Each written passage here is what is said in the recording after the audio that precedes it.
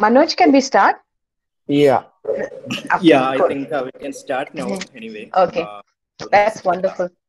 It's more than Yeah. 80, 90 students. Uh, yeah, 90 participants. Yeah, anyway, mm, uh, good morning, everyone. And uh, uh, we are so happy that uh, Dr. Sarada Natarajan is with us today for a uh, it's a two days lecture series and the first one uh, is on uh, introduction to visual culture and I invite all of you, especially Dr. Sarada Natarajan. Uh, I mean, she needs no introduction, I think, because uh, last year exactly, I think in Janu- January, in, yeah, in the last week of January, I think, yeah, she was here for a workshop in our college, and uh, students and faculty members are much familiar to her. So I'm not uh, going to all these uh, the biodata and any other thing. It has been shared in the groups. So uh, I request students to go through uh, profile and uh, everything. And uh, a lot of uh, students and alumni requested to join this webinar. I mean, not webinar, this lecture series, but we couldn't admit everyone. But yeah, people like uh, Shamikda was there. he just contacted me in the morning, and then yeah, and also our colleagues from Trivandrum, uh, also a few old students, and uh, even junior students joined uh, for today's uh, talk. It was actually meant for final and third year students. Um so, a brief introduction about uh, Dr. Sarada Natarajan. She got PhD. Uh, uh, titled Framing Pre-Modern Indian Art, Art and History from MS University of Baroda. And then she did her MA in Art History from the same institution. Uh, also, she has been uh, teaching in uh, Central University of Hyderabad for 14 years. And then for a short period, she was the principal of Chitrakala Parishad, Bangalore. And then at present, she is a visiting fellow at uh, Shiv Nadar University and then Ashoka University in Sonipat. So uh, I hope uh, uh, you know everyone will participate wholeheartedly in this uh, talk. I invite everyone, especially inviting Dr. Sarada Natarajan, on behalf of uh, Government College of Fine Arts, Thrissur. Thank you. Thank you so much, Manoj. And it's a wonderful thing to be uh, back with uh, one of the colleges that I was extremely impressed with. Uh, last time we did a lovely. Can you hear me? Yes, yes. I'm having yes. break. Yeah. Um, we had a really wonderful workshop uh, on the elephant in the studio, uh, and uh, it it really made me. Uh, you know, it, it really made me remember the students that used to come to the University of Hyderabad from Thrissur and from Trivandrum, and the kind of uh, caliber of the students and how they already knew a lot of art history and so on. So it's, it's been a wonderful uh, introduction, and I also know Manoj and Bhagat from uh, uh, who Bhagat was my former student. So we we have a in a way a long connection with Thrissur. Uh, so today's talk will be basically an introduction to visual culture. Uh, visual culture being actually a sort of new and um, you know an unusual combination of uh, various disciplines or what we call an interdiscipline or a multidiscipline. And visual culture itself is slightly different from art history though they overlap on a whole uh, bunch of issues. So today's um, today's introduction will be basically staking out the territory of visual culture. So i kind of introduce visual culture as a separate interdiscipline from art history and kind of give you an indication of the the kind of concerns the concepts the frameworks within which visual culture works. In the next session that is day after tomorrow we'll be doing a little more. We'll be applying some of the uh, theoretical frameworks very very briefly. We'll be applying some of the theoretical frameworks to specific visuals that are both from the past and in and uh, circulating in the public domain or in in media and so on today. Because we are bombarded with images. This is a world full of images and especially with other kinds of contact being cut off by the pandemic we are living in practically a continuous visual world. I mean we're always looking at things. We're looking browsing on the net. We're looking at our phones. So the visual has become overwhelmingly important. And also uh, politically also and ideologically it's really important for artists to know how to how the visual manipulates you and how to manipulate the visual. So this is something i hope to be able to kind of introduce. It's a huge have done it so well but i'm hoping to be able to give my angle on it.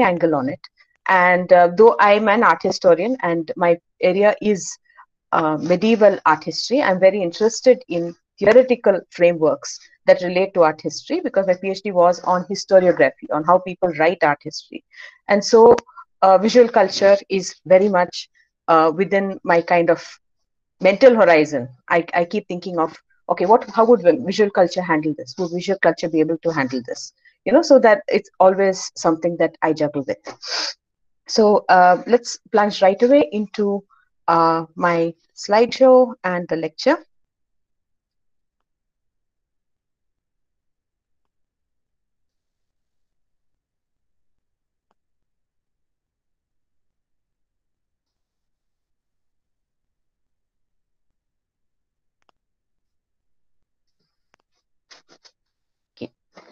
So this is just introduction to visual culture. Um, I would like you to take a, just as a, as a kind of fun introduction, take a look at the uh, image on the left. It's from a popular calendar art poster, which I picked off the streets of Hyderabad. And the writing is in Telugu. Uh, what uh, it does is it's a drishti boma. can you you can see that there are all the elements of a Drishtiboma. He has a uh, skull and crossbones on his forehead, quite quite fancy, which is you know uh, it's it's a comp it's a kind of um, a hybrid image with a little bit of uh, Western art. It also has a fruit shape like the pumpkin or the gourd that is used as as for Drishti Pariharam. And you can see that it's got two scorpions on its ears and so on. So it's a fa fascinating image uh, which we find on the streets uh, around us on new constructions on new buildings. And it's very much part of a very ancient concept that is common to a whole lot of uh, asia africa um, and probably even europe at one point in time. The notion of drishti the, the notion of the evil eye the notion of the nazar. Yeah? So just think about the notion of nazar and what it entails and contrast it with the notion of darshan, because that has also been talked about a lot in visual culture.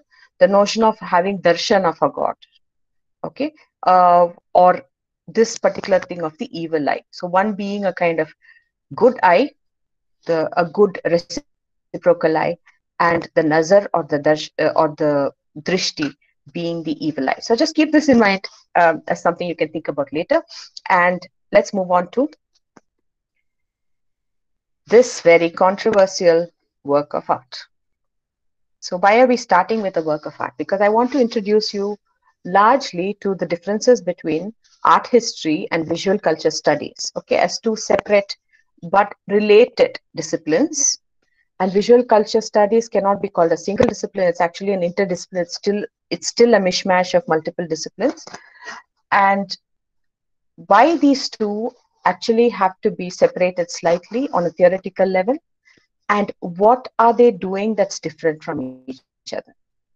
So let's start with a very famous work by edouard manet the impressionist artist olympia.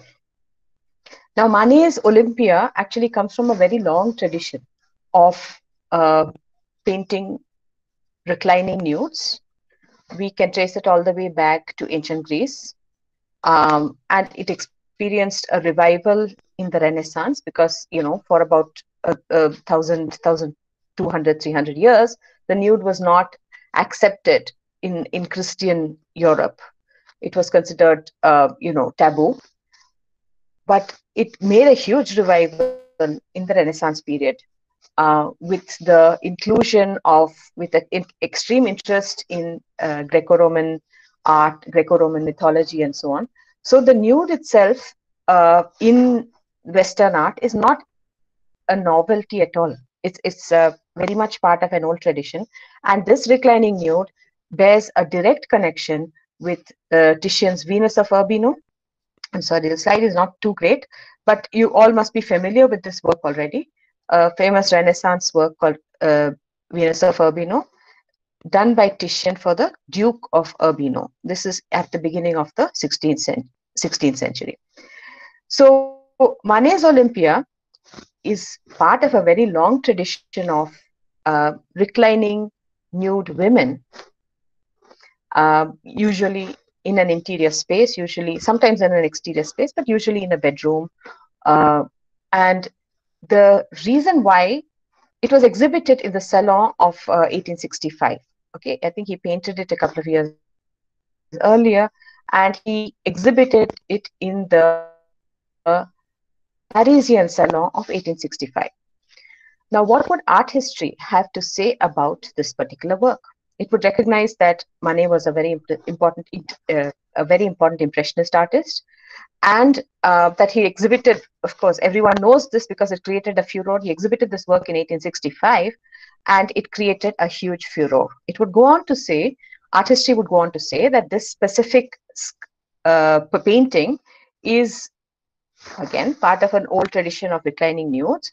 And the one thing that uh, Manet has done for example is he has flattened the the composition uh, in such a way that it continues to reflect Titian's Venus of Urbino. That's an obvious reference for him okay and also Francisco Goya's Naked Maja these are obvious references for uh, Titian uh, for Manet but what the painting does is quite a different thing altogether.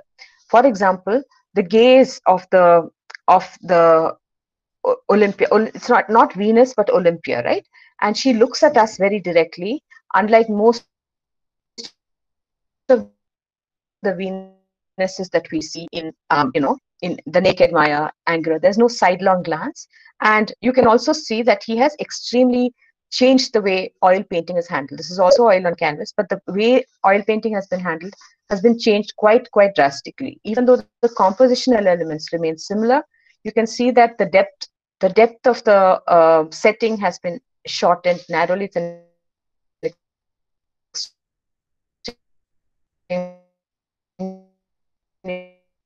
Shallow uh, the lighting is not evocative. You know the lighting here is so evocative. It's it's uh, unilateral lighting and it's softening the contours. It's kind of uh, uh, it's blurring the edges a bit like leonardo da vinci's sfumato. And generally you get a sense of uh, the beauty of the location and uh, the lusciousness of the the bed itself and all the materials that are symbolized and you get a sense of a depth of the room and a window beyond that looks into a kind of uh, interesting horizon. You also have elements of the dog um, which is sleeping on the bed and you have uh, the maids of the this venus. We don't know whether she's uh, uh whether she refers to a specific person or not but this Venus is definitely a reference to Greek mythology. Like I told you, there's a huge revival of Greek mythology at that point in time. And uh, you can see that she also represents the bride because this was a gift, Venus of Urbino, to his bride, uh, uh, Duke of Urbino to his bride. Uh, his young bride. So there was a huge age gap between them, and he gave this as a, it's a strange gift that if we think about it. So here is uh, the Venus sleeping like a bride on her bed, sort of evocative. And behind her is uh, a maid and a young helper who are arranging her dowry box.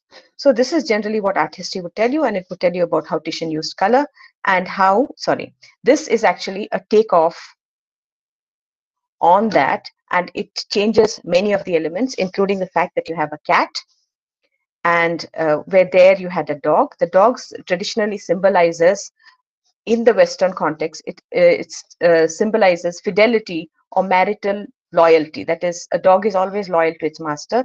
So it kind of indicates that the couple should be loyal to each other. Whereas here, Manet has replaced it with a kind of scary cat. a very frightening looking cat. And you can see that the obviously white maid uh, has been replaced by an African woman, a woman of African origin. You know that this is 1865, so when we look at the date, we can immediately see that it's from that lady is probably from Algeria or one of the French uh, colonies in Africa, and she is bringing a bouquet to show to Olympia. Now, this is not a Venus, in spite of the fact that it borrows many of the genres of Venus. Manet calls it Olympian. Why does he do that? So it's basically Olympians are the gods, the 12 gods on the Mount, Mount Olympus, the Greek gods. But this is not any specific. Aphrodite is one of the goddesses of one of the Olympians. But this is not some kind of Venus.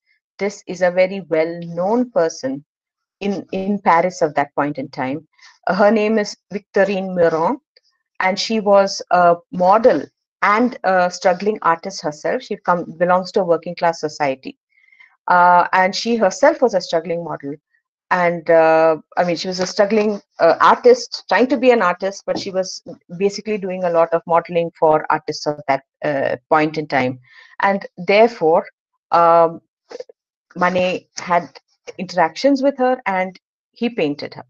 So this is where art history kind of slips into visual culture. Visual culture has some very interesting things to say about this particular painting. For example, T.J. Clark has talked about her class position, the very fact that she's uh, she's a specific person and that she is posed naked, and this is clearly a scene of a brothel. It, she is a courtesan, a prostitute, uh, a well-known uh, person, social figure, woman of the streets in Paris, and not a respectable woman at home you know not not a respectable housewife or a, a, wife of a man but a woman of the streets who were available to those men. And she was definitely part of the underbelly of paris the nightlife of paris the the kind of uh, life that is not talked about which is not really respectable but it on the, at the same time is extremely vibrant and the person who could be uh, somebody who's working at the brothel maybe the madam of the brothel and she's bringing a, a bouquet of flowers probably from a client. Okay? And so this in some sense in a shocking way completely subverts the long tradition of golden venuses Venuses have always been a respectable tradition in Western art. Uh, Griselda Pollock goes on to tell you about the background of this and why it created a furor. Everyone says, "Oh, it's a nude." It's it's like uh, like art history says it's a nude. The picture is very flattened. It's very uh, strange. She's got one one shoe on one foot, and she's got something around her neck, and therefore it's not a full nude. And th so there are many elements which are not very typically, um, you know, related to the nude in Western art, but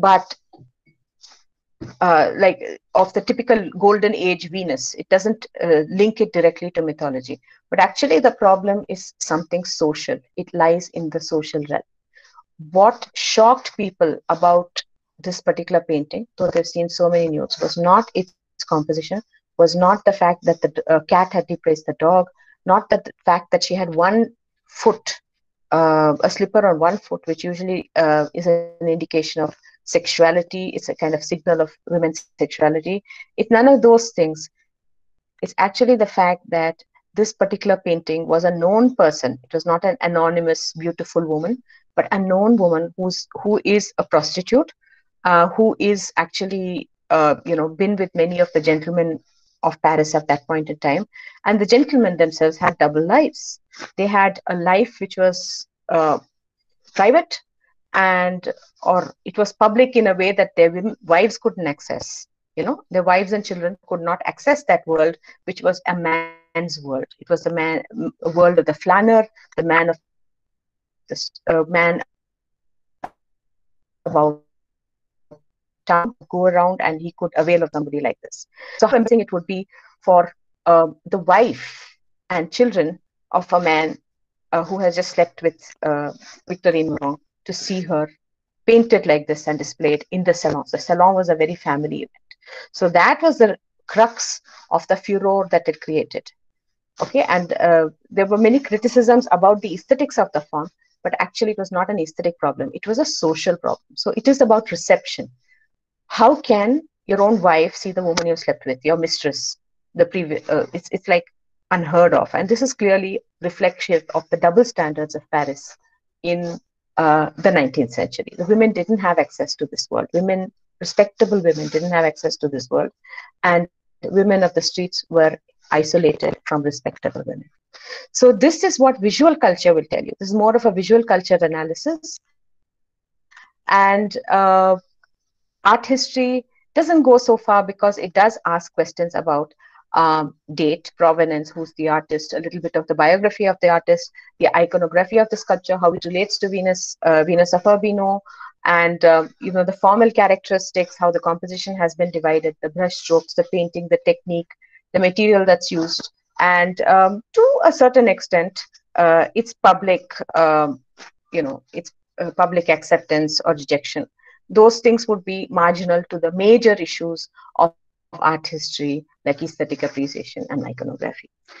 So you can see already that there is a slight difference between the frame that visual culture is interested in and the frame that art history is interested in. Now, when we look at why is so you can see that here again is another reclining women from calendar art so why is visual culture different from art history is it different at all? And in in which case is there sorry.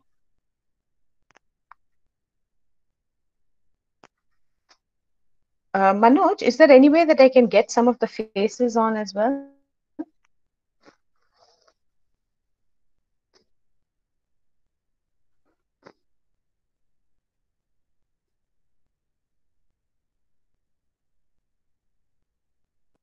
Hello, can you hear me? Ma'am, uh, what you asked? Yeah, one second. Yeah, ma'am. Uh, Yeah, I can hear you. is there any way I can get the faces on at Google Meet because I've only used Zoom? Can I get any of your faces? Hi. Yeah, yeah, yeah. Uh, think- how how do I do that? I think. Uh, no, I didn't How get I it actually. I, I mean the. Uh, do you mean uh, someone have to uh, this thing um, open their camera? With, Okay, no, because I'm not getting any faces at all, and I'm just talking to a dot on my screen. That yeah. weird. No, I, I think in between few few of our students can like you know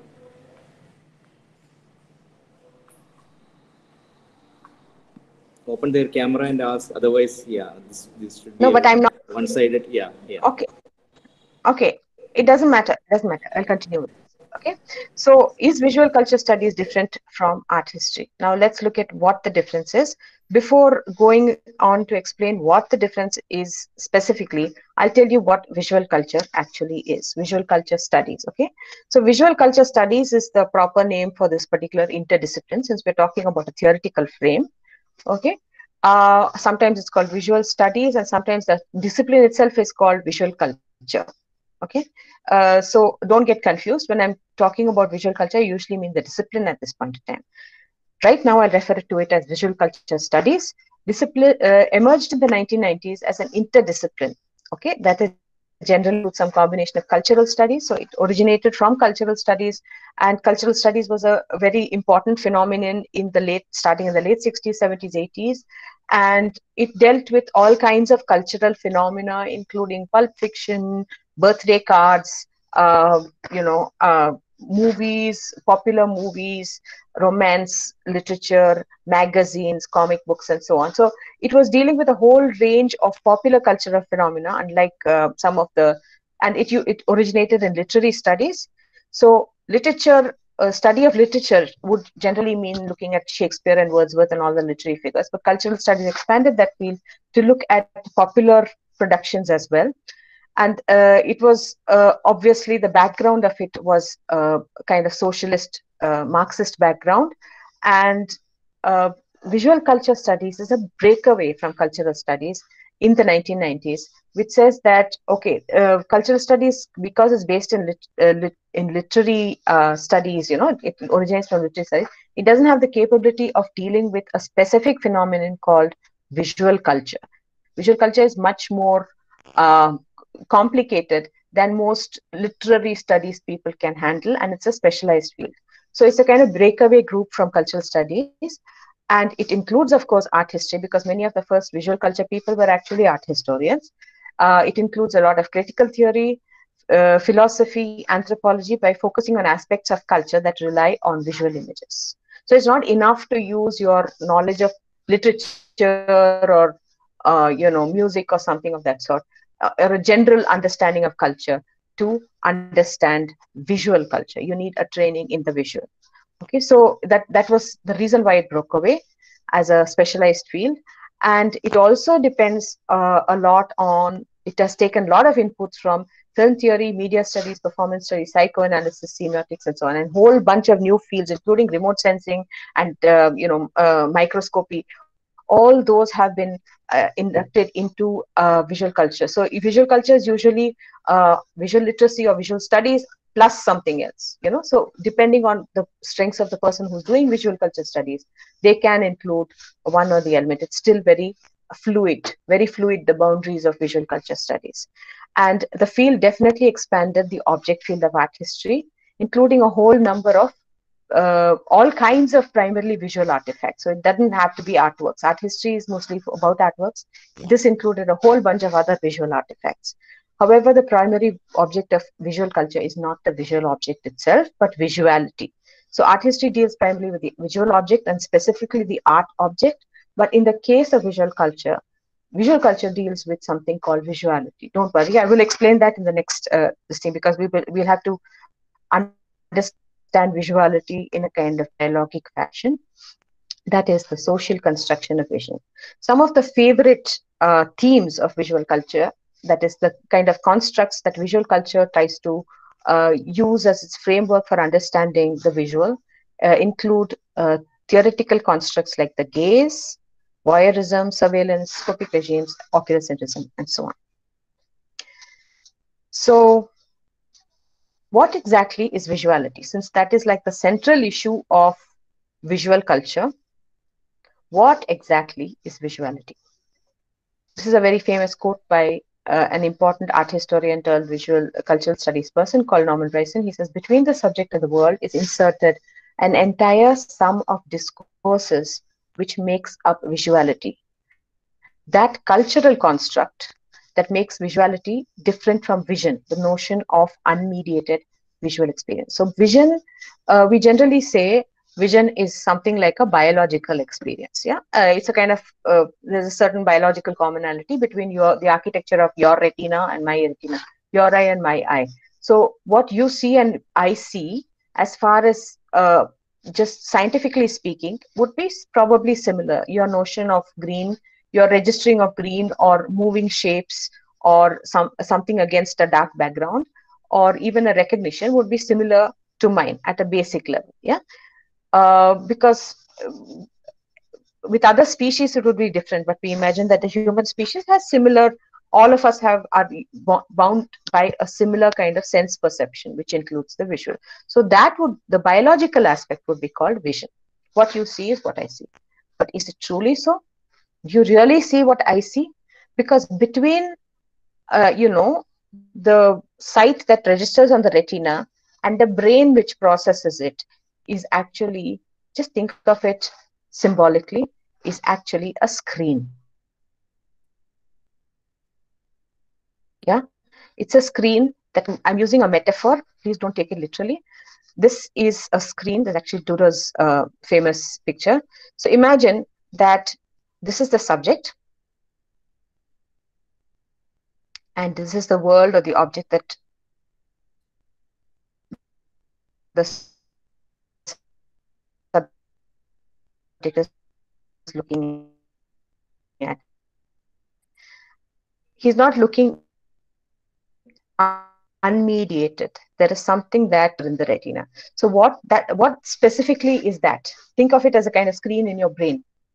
Even though biologically the same uh, Im similar image is on our retina, by the time it goes to our brain, what you make of the visual and what I make of the, the, visual will be totally different because of our different cultural experiences. Personal and cultural experiences very much change how I see somebody or you see somebody, how I see a vision, what I interpret it as, and what you see. So this is basically the filter that happens, and that filter is a social construct. The filter is cultural, it's social. Okay, it's not so much, there's some element of individual in it, but it's largely cultural. Now take a look at this image. Okay, all of them are ideal beauties from three different cultures. Okay, all of them are ideal, beautiful women this is one of the places where visual culture is most obvious in its in the way it performs right uh, the whole notion of multiple different cultures different people from different communities have different visual cultures. They're part of different visual cultures. So an ideal beauty on the left side this would be from say Jan van Eyck's period from uh, so it's from the Ghent altarpiece it's eve. And you can see how uh, the female beauty is shown as somebody who's uh, kind of slender shouldered, pear shaped, with rather, um, you know, long, elongated limbs and very little muscle or sinew, but the most prominent feature being the bulging pear-shaped belly. So this is considered, this is, she's not pregnant, she's not, uh, you know, malformed, but she, this is considered the ideal of beauty in 15th century uh, Netherlands, okay? If you take the central figure, you can all immediately recognize it as uh, an Egyptian goddess. She's Isis. You can see how con such a great contrast between what is an ideal Netherlandish beauty and what is an ideal goddess from ancient Egypt. Uh, absolutely uh, slim waisted, and the breasts are usually shown when you look at the sculpture, they're shown very, very tiny, like a small, uh, like a, a teenager's breasts, and hips are not much emphasized. On the right, you see the Madanika from Belur, from Hoysala period. Um, this is from Belur, so it's the 12th century.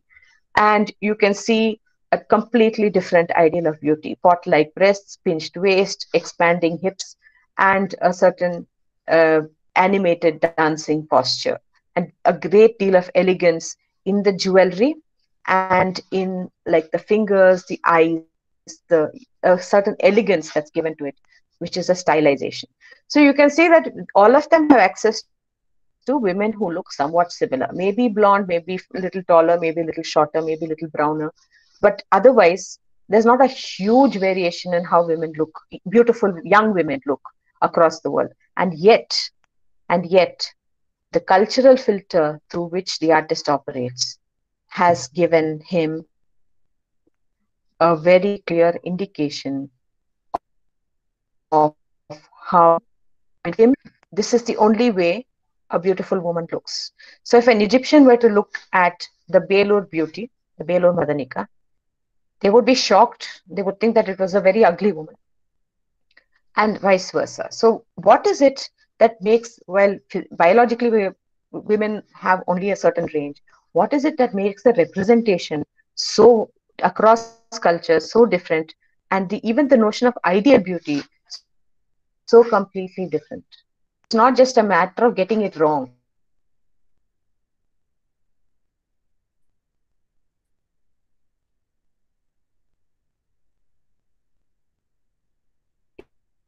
it's a matter by the time it gets to the artist okay it is a cultural construct and that cultural construct is basically defined by the schema of the artist's own culture.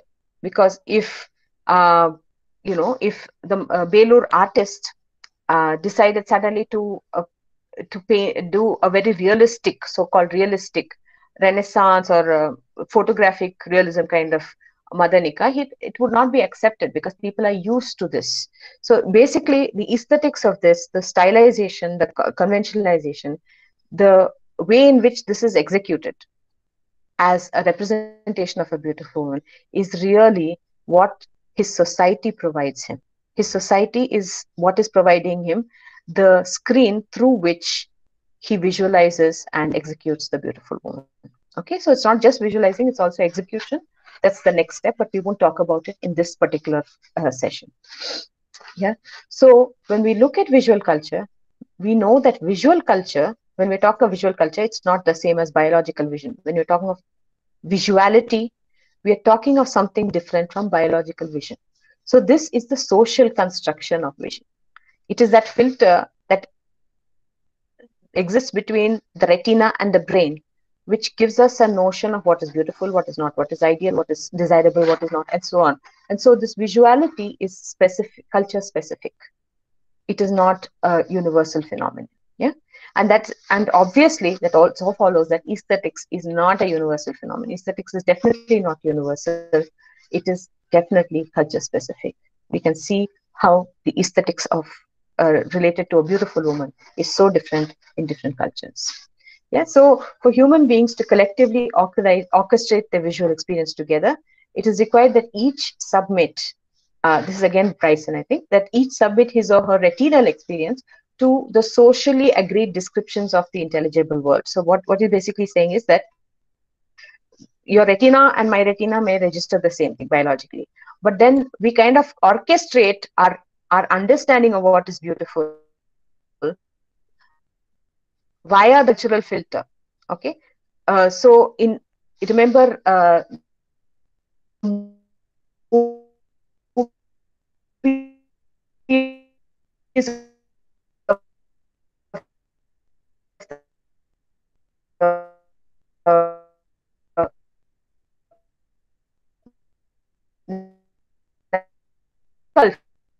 continuity right? It's the same same same uh, social space from generation to generation.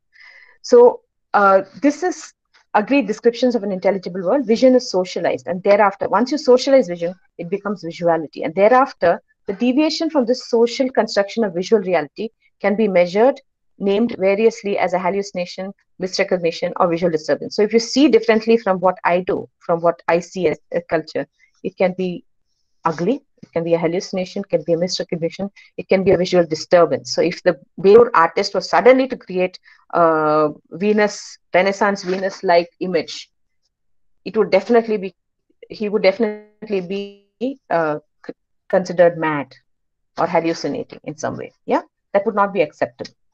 So it's not just the artist, but even our vision is constrained by this, even what we consider beautiful is already socialized by the society or the community we live in.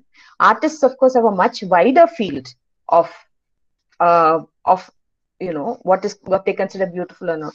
Things that artists and art historians consider beautiful, ninety percent of the world doesn't think is beautiful, like a wizened face, a wrinkled face, you know, uh, just a bit of uh, moss on the on the wall or something like that, not considered beautiful by normal people.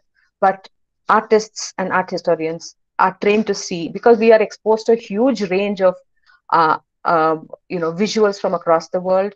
And our uh, uh, you know our visual culture what that screen is actually much wider.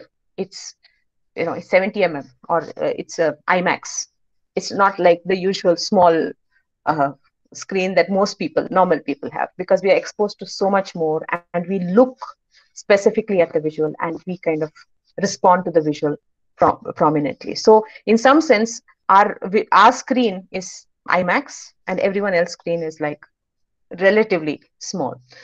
So visual culture is a social construction of vision. And how do we know that? Take a look at this amazing um, wall painting from ancient Egypt. This is Nebamun hunting birds. It's actually from a grave of this uh, nobleman, this important person called Nebamun. And you can see that um, the many of the social conventions, the conventions of Egyptian relief sculpture and painting are operative here. For example, side face, uh, side profile face, front torso, side legs, you know, the profile legs and so on. But the other interesting aspects in, include the fact that, uh, I mean, we can also talk about, say, there's no specific background, there's script which is superimposed you know the hieroglyphics are superimposed on what is obviously the sky and other kinds of painting. And you can see that the foreground background has been only only kind of shaped by the fact that they're giving registers. There's no sense of depth because you know uh, modeling overlapping those things are to a certain extent overlapping issues but uh, modeling 3d modeling uh, perspective and all that has not been used. So it's a kind of flattened picture and we only know foreground from middle ground from background uh, by looking at the registers. That is the lowest level would be the foreground and also the basement of the picture. The middle level would be the middle ground and uh, the top level would perhaps be the background depending on the interpretation. But the more interesting thing about this is look at the figures next to Nebamun. On the right is his wife, and at the bottom is his daughter. Now, obviously, the artist, from our perspective, is hallucinating. How on earth can there be such an a strange uh, relationship, completely inhuman, completely unnatural, unless he married a pygmy, somebody who was very small, and uh, therefore they had a pygmy daughter. But otherwise, the proportion is unnatural. For an ancient Egyptian, this would have been perfectly natural, simply because we call this hierarchical proportion. Hierarchical proportion means the way you represent uh, a person in a picture or a sculpture or a painting or in any any form of art would be would be sized according to their status and not according to their social status and not according to their actual uh, physical proportions. So the relative smallness of the wife of Nebamun is giving you a sense that she is socially less important than him, and she's secondary. And the ba- the child is obviously it's a girl child and it's obviously tiny and it's tertiary. Though she's like clinging on to her father, clearly related to her father, but she is of no consequence as far as the social status is concerned.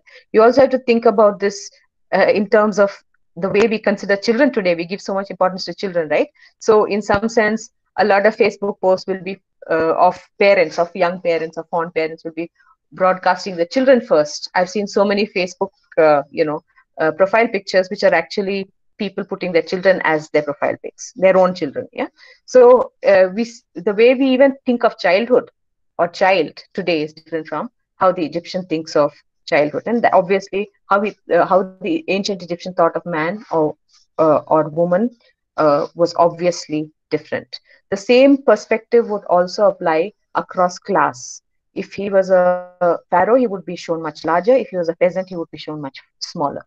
So this is called hierarchical proportion. It is common to many many cultures of the world and one can almost without our arguing too much says say that these would probably exist more in uh, non-democratic, highly feudal or hierarchical societies, where societal hierarchies are so clearly distinct that you know that they actually are that they are the truth that pharaoh is bigger than normal people you know for them it's the reality. So reality itself is mediated by this notion of status in society. We are brought up and born and brought up in democratic society so we, we find it a little strange. But for the Egyptian, making these two the same size would be really strange. So you see how this would be perfectly natural, perfectly real for them. Okay. Now I'm saying this in terms of ancient Egypt. It's also there in Indian culture, but it's not that different even today. This is supposed to be a democratic society, but we still do the same thing. If you look at uh, hoardings, you can still see the same proportion operates. This is ancient in uh, Pallava period sculpture. You can see the same proportion, disproportion, hierarchical proportion operates. It's not natural proportion, it's hierarchical proportion. You can see Shiva in the center um, and Parvati on the side. You can also see other elements like frontality and formality. The Shiva himself is much uh, given a greater importance. This panel is Soma Skanda. It's called Sa Uma Skanda. So you have Uma, Parvati on the side, shown kind of compromising. Shiva is man spreading. He's sitting in the center and occupying all the space. Uh, women who've traveled in the bus sitting next to a man might have experienced this. And Parvati is kind of adjusting. And uh, she's also shown in short, slightly smaller physical talama uh, because she is, in this particular case, slightly smaller than Shiva. And Skanda is shown on tiny, um, which almost disproportionately tiny. And on the right and the left, this is the more political aspect of it. You can see Vishnu and Brahma shown in much smaller Talaman. They're shown even smaller than Parvati. So you see, this is a perfectly natural and normal representation in the case of uh, in of ancient Indian art as well. This is Pallava period, let's say, say late seventh century, beginning of eighth century. We're not exactly absolutely sure of the date, probably big, uh, late seventh century. So you can see hierarchical proportion very clearly works here as well. Hmm. There you go. So it's not possible to actually make a human being much bigger in a photograph. So what you do, you make a collage in such a way that the most important person becomes much larger and the smaller person becomes smaller. I'm not sure why my um, why am I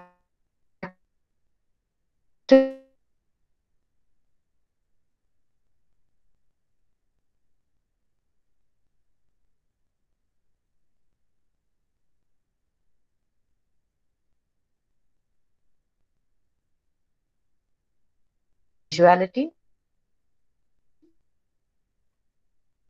is the social concern the notion of what we consider visual appropriate beautiful and so on is constructed socially. What you and i do it do is all socially.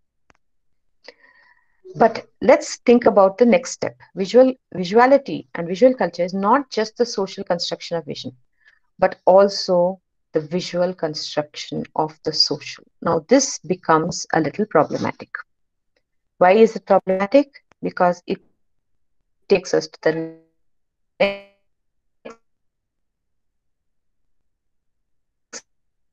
level of the ring and just don't concentrate on the screen and think of the goddess Lakshmi. Not because I'm being religious, just, just an idea. Think of the goddess Lakshmi. Shut your eyes for a moment and think of the goddess Lakshmi. Okay? Does she look think does she look like the one on the left or the one on the right? Your understanding of Lakshmi. Does, did your mental image suit the one on the right or one on the left more? Can one of you answer, please? Anybody would like to answer? It's right. yeah most most people would think immediately of in, and on the le- the one on the left is not even recognizable as lakshmi. Unless you go deep in and look at the two uh, elephants in which case you get a hint that it might be lakshmi. Actually if we if we talk of orig- origins and originality that's actually from ancient buddhist stupa. Uh, i think it's sanchi on the left. And it's obviously more ancient than the more obvious calendar art which is derived from Ravi Varma on the right so which is the original lakshmi obviously you and I haven't seen Lakshmi, um, or we'd not be doing fine arts and visual art. Uh, but if we had actually uh, seen Lakshmi, we would expect her to be like the one on the right. So in our imaginations itself, Lakshmi is already constructed. We haven't like we haven't encountered Lakshmi, but Lakshmi is considered constructed as much closer to the calendar art version of Lakshmi on the right, and not so much like the very ancient, very original version of Lakshmi on the left. Yeah, if if one is to argue for origins, if one is to say older is more original, then that would be the original Lakshmi. But that's not how we see Lakshmi. Okay, so this is very interesting how your society has constructed your vision.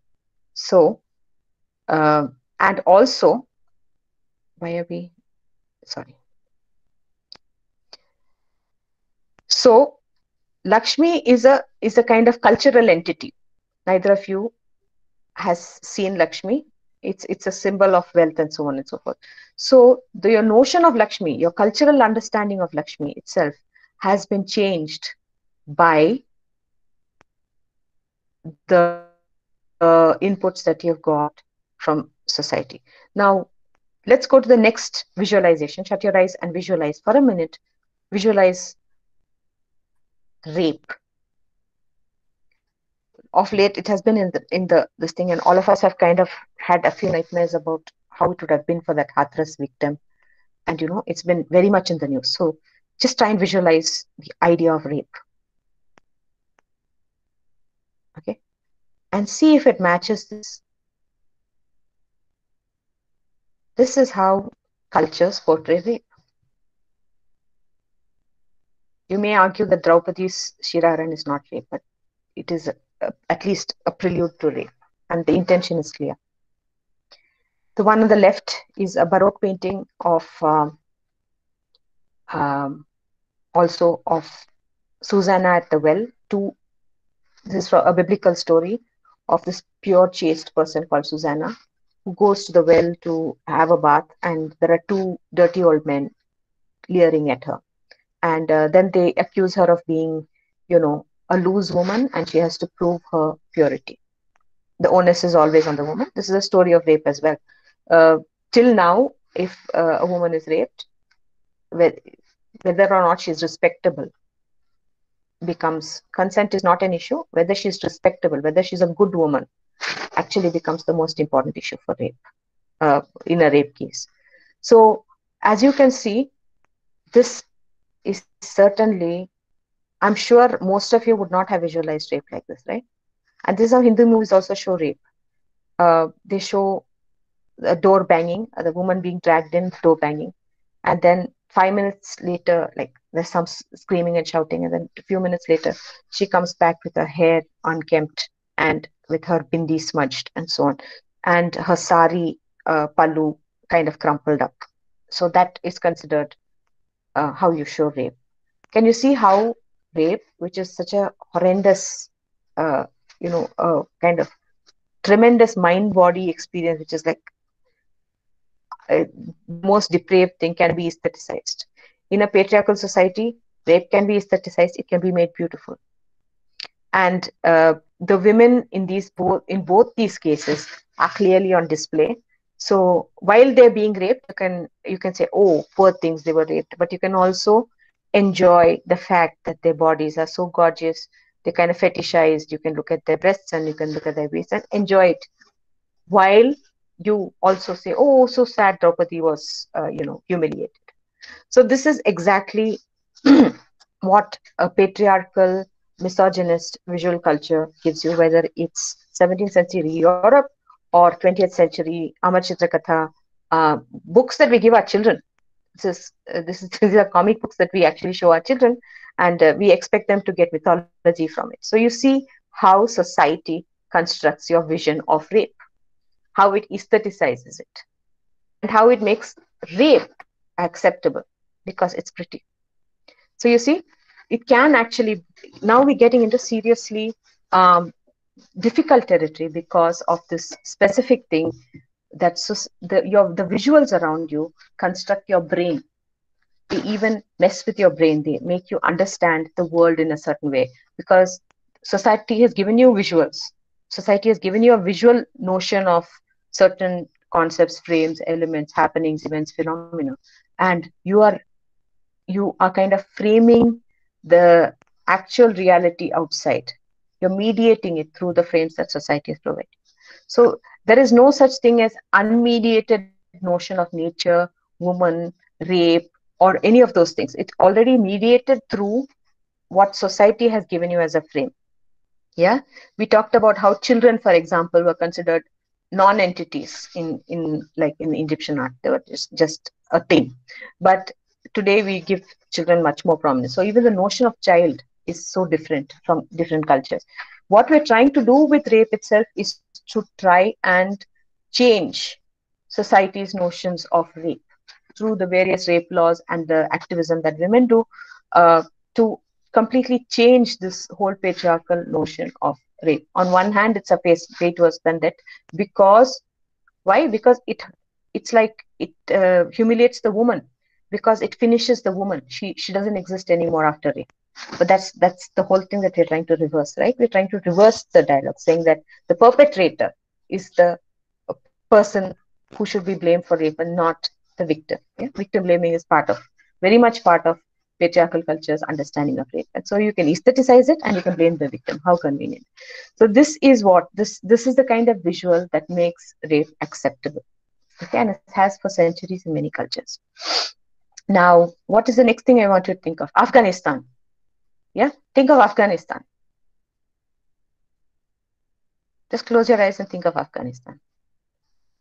Okay, do you get this kind of vision of Afghanistan? Is this how you look at Afghanistan? It's a beautiful lake in the middle of uh, the Pamir Plateaus, I think. Or is your vision of Afghanistan more like this? For me, this is how, unfortunately, I have begun to think of Afghanistan. Despite my art historical training. When I think of Afghanistan, I think of this. So my my whole understanding of a of a concept like Afghanistan is already constructed by the media bombardment and the the verbal bombardment and the TV channels about what they portray as Afghanistan. But there's also this. This is a, a, a remote tribe uh, in Kyrgyzstan, I think. And there's also this, the fabulous mosque, uh, the Blue Mosque in Herat. Who would have known all this is part of Afghanistan? All we see, all we think of when we think of Afghanistan is this. So you see how powerful the visual is. The visual is is a kind of there's so much visual around you that it even alters the understanding of reality that your brain constructs about certain uh, things that you're not in, in touch with or even things that you are every day in contact with. So what happens is the visual mediates your sense of the world or sense of reality. Okay and that's a very very important aspect and that's exactly what artists need to know uh, which art history doesn't really give you an access to. It gives you a hint that this is but it doesn't give you access to it in such a way that visual culture studies does. The very fact that your entire world is mediated by the visuals you re- receive from the media and you know the bombardment of visuals that you receive that even your brain is messed with by the visuals you have that your your understanding of reality is completely distorted by is there a way of correcting the distortion? Not really okay? There's there's no way of correcting the distortion but that doesn't mean that all distortions are equal. Uh, what artists do for example is to expand our field of the visual right? We go around looking for other other forms of other frames for the visual. And therefore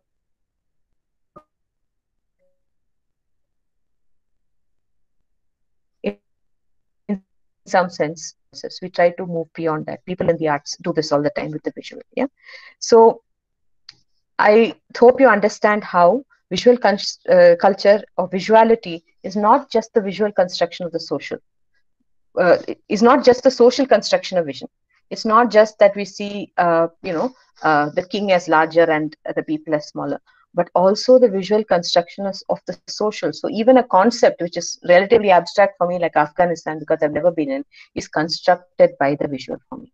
So there's a reciprocal relationship between uh, my visual inputs, the stimuli that I get, and the social, uh, and this uh, and reality and the, there's a kind of frame the frame that is stands between the two is actually the social my cultural uh, you know my cultural ethos the things that i'm surrounded by. And there's no way that i can escape this mediation.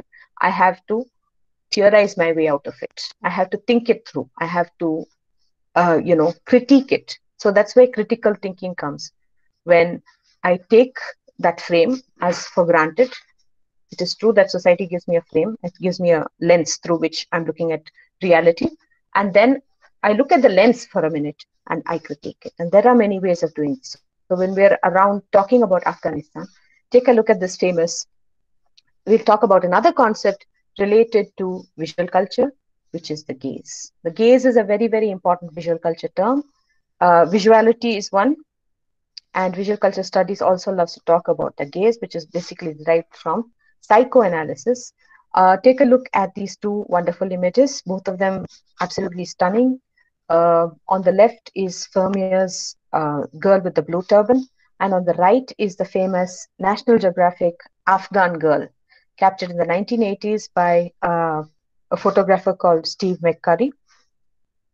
And this was a Afghan refugee girl in a in a camp, and and uh, he took this and it came on the cover of National Geographic.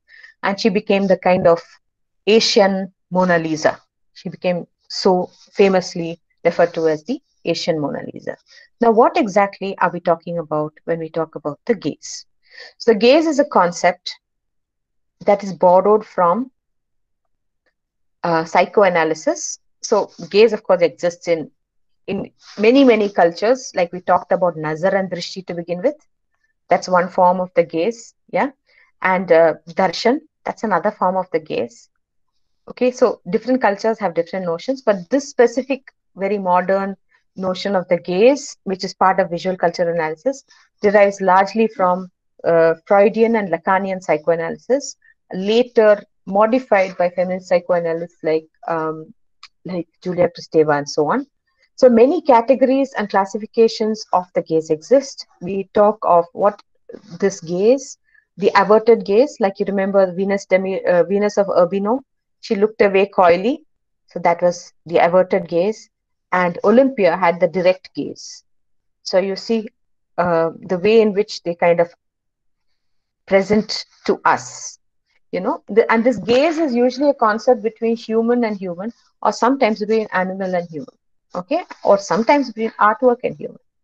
So but there's always an element of something that has an eye. So the averted gaze and the direct gaze are very much talked about in the context of say uh, venus of urbino and olympia the tourist gaze that means i'm looking at something as a tourist you remember that uh, like from the tsunami onwards there's been something called disaster tourism of late, you know, when people come and look at uh, sites of earthquakes and so on. So the weird kind of tourism. Uh, so the tourist gaze, uh, it changes. It could be a monument. It could be a disaster that you go around looking at.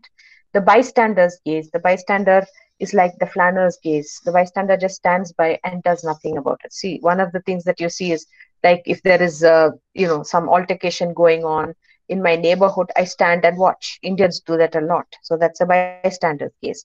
And un- you're involved in it kind of emotionally, but you're not going to intervene. Okay, so this is a bystander case. The male gaze, which is the central issue of uh, the one of the people, who, uh, one of the uh, groups that actually brought the gaze into visual culture studies was the feminists and uh, primarily the male gaze. But now there are, it has become a more complex issue of uh, gazes there are uh, because gender is you know on a spectrum and uh, so the male gaze has become I, I, still iconic and it's a principle on which the other kinds of gazes are worked out but then you can have so many other the queer gaze and so on the colonial gaze how the uh, the colonizer looks at brown skinned people so many paintings like of delacroix and so on of how uh, women in the Zen, in the harem are looked at by the colonial gaze. Yeah. So the look, these are other forms. These are not gaze. The look, the glance, the gaze, the stare, and there's so many other categories of looking at people. Okay. So there are so many ways of looking and recip reciprocal looking. Yeah. So there are always two sides to a gaze. Okay. Um, on the one hand, she is gazing at me. On the other back, on on the one hand, I am gazing. Okay, so who am I in relation to looking at this? Maybe an, uh, an I'm an art critic. Maybe I'm an artist. Maybe I'm somebody who's just looking at um, you know looking at magazines.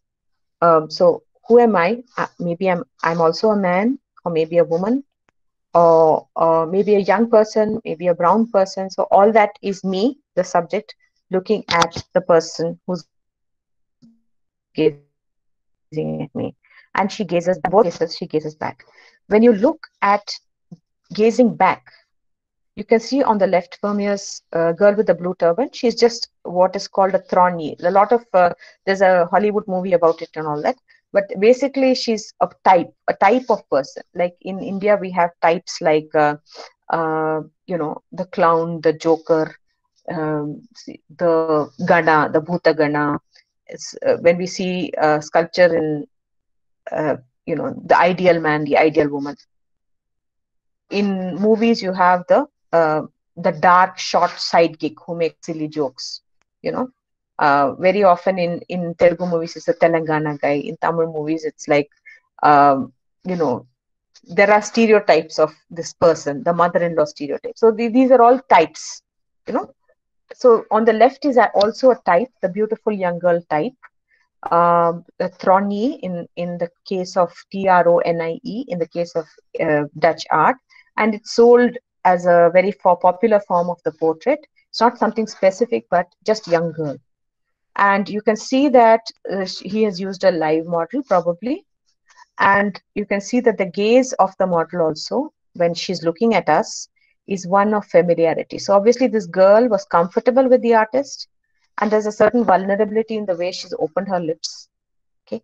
And she gazes back uh, sidelong. You can see there's no alarm. She's kind of, you, you can see that it's a slightly indulgent because a slight tilt of the head, a slightly indulgent gaze. It's not an averted gaze, not a direct gaze. It's neither of them. It's like a by the way gaze. No, she's just looking back at us. And uh, the artist is and she have a obviously have a rapport. They are comfortable with each other, and therefore he was able to capture uh, her beauty, not in a very startling way. On the right hand side, you see a very startling contrast between the one uh, away from the girl with the blue turban. You can see on the right that there is this obviously other. Okay, she's got torn clothes and um, beautifully framed with blue and red, two like very classy non-European colors. And she's brown skin and unkempt hair, so that talks of poverty, which is also the other in some sense. Um, and you can see that her gaze is definitely a hostile one. It's hostile because she's reciprocating the photographer's hostility. Is a, her photographer is a is Steve McCurry, a white American, who has just barged into a, a, a refugee camp and taken a photograph of this girl without her consent. So you can see that her pupils are contracted. It's so clear in this. And she's like uh, an animal caught in the headlights of the car, completely reluctant to uh, be part of this exchange and extremely hostile and extremely frightened. So you can see that there's a solid contrast in the reciprocity of the gaze. Otherwise, they're two beautiful women. Okay, if you're just looking at them, they're two beautiful young girls. But when you look at the gaze, you understand that in this exchange, something very disturbing is happening. Okay, so uh, there is a long story about um, the, the this Afghan girl, which continues all the way till recently when she was arrested and deported from Pakistan. So please follow it up on the on the internet. Uh, it's called The Afghan Girl, featured on National Geographic, and Steve McCurry. The, the tragedy that follows is also is very poignant, and that actually tells us about why this picture on the right is very problematic politically. It is a picture without consent.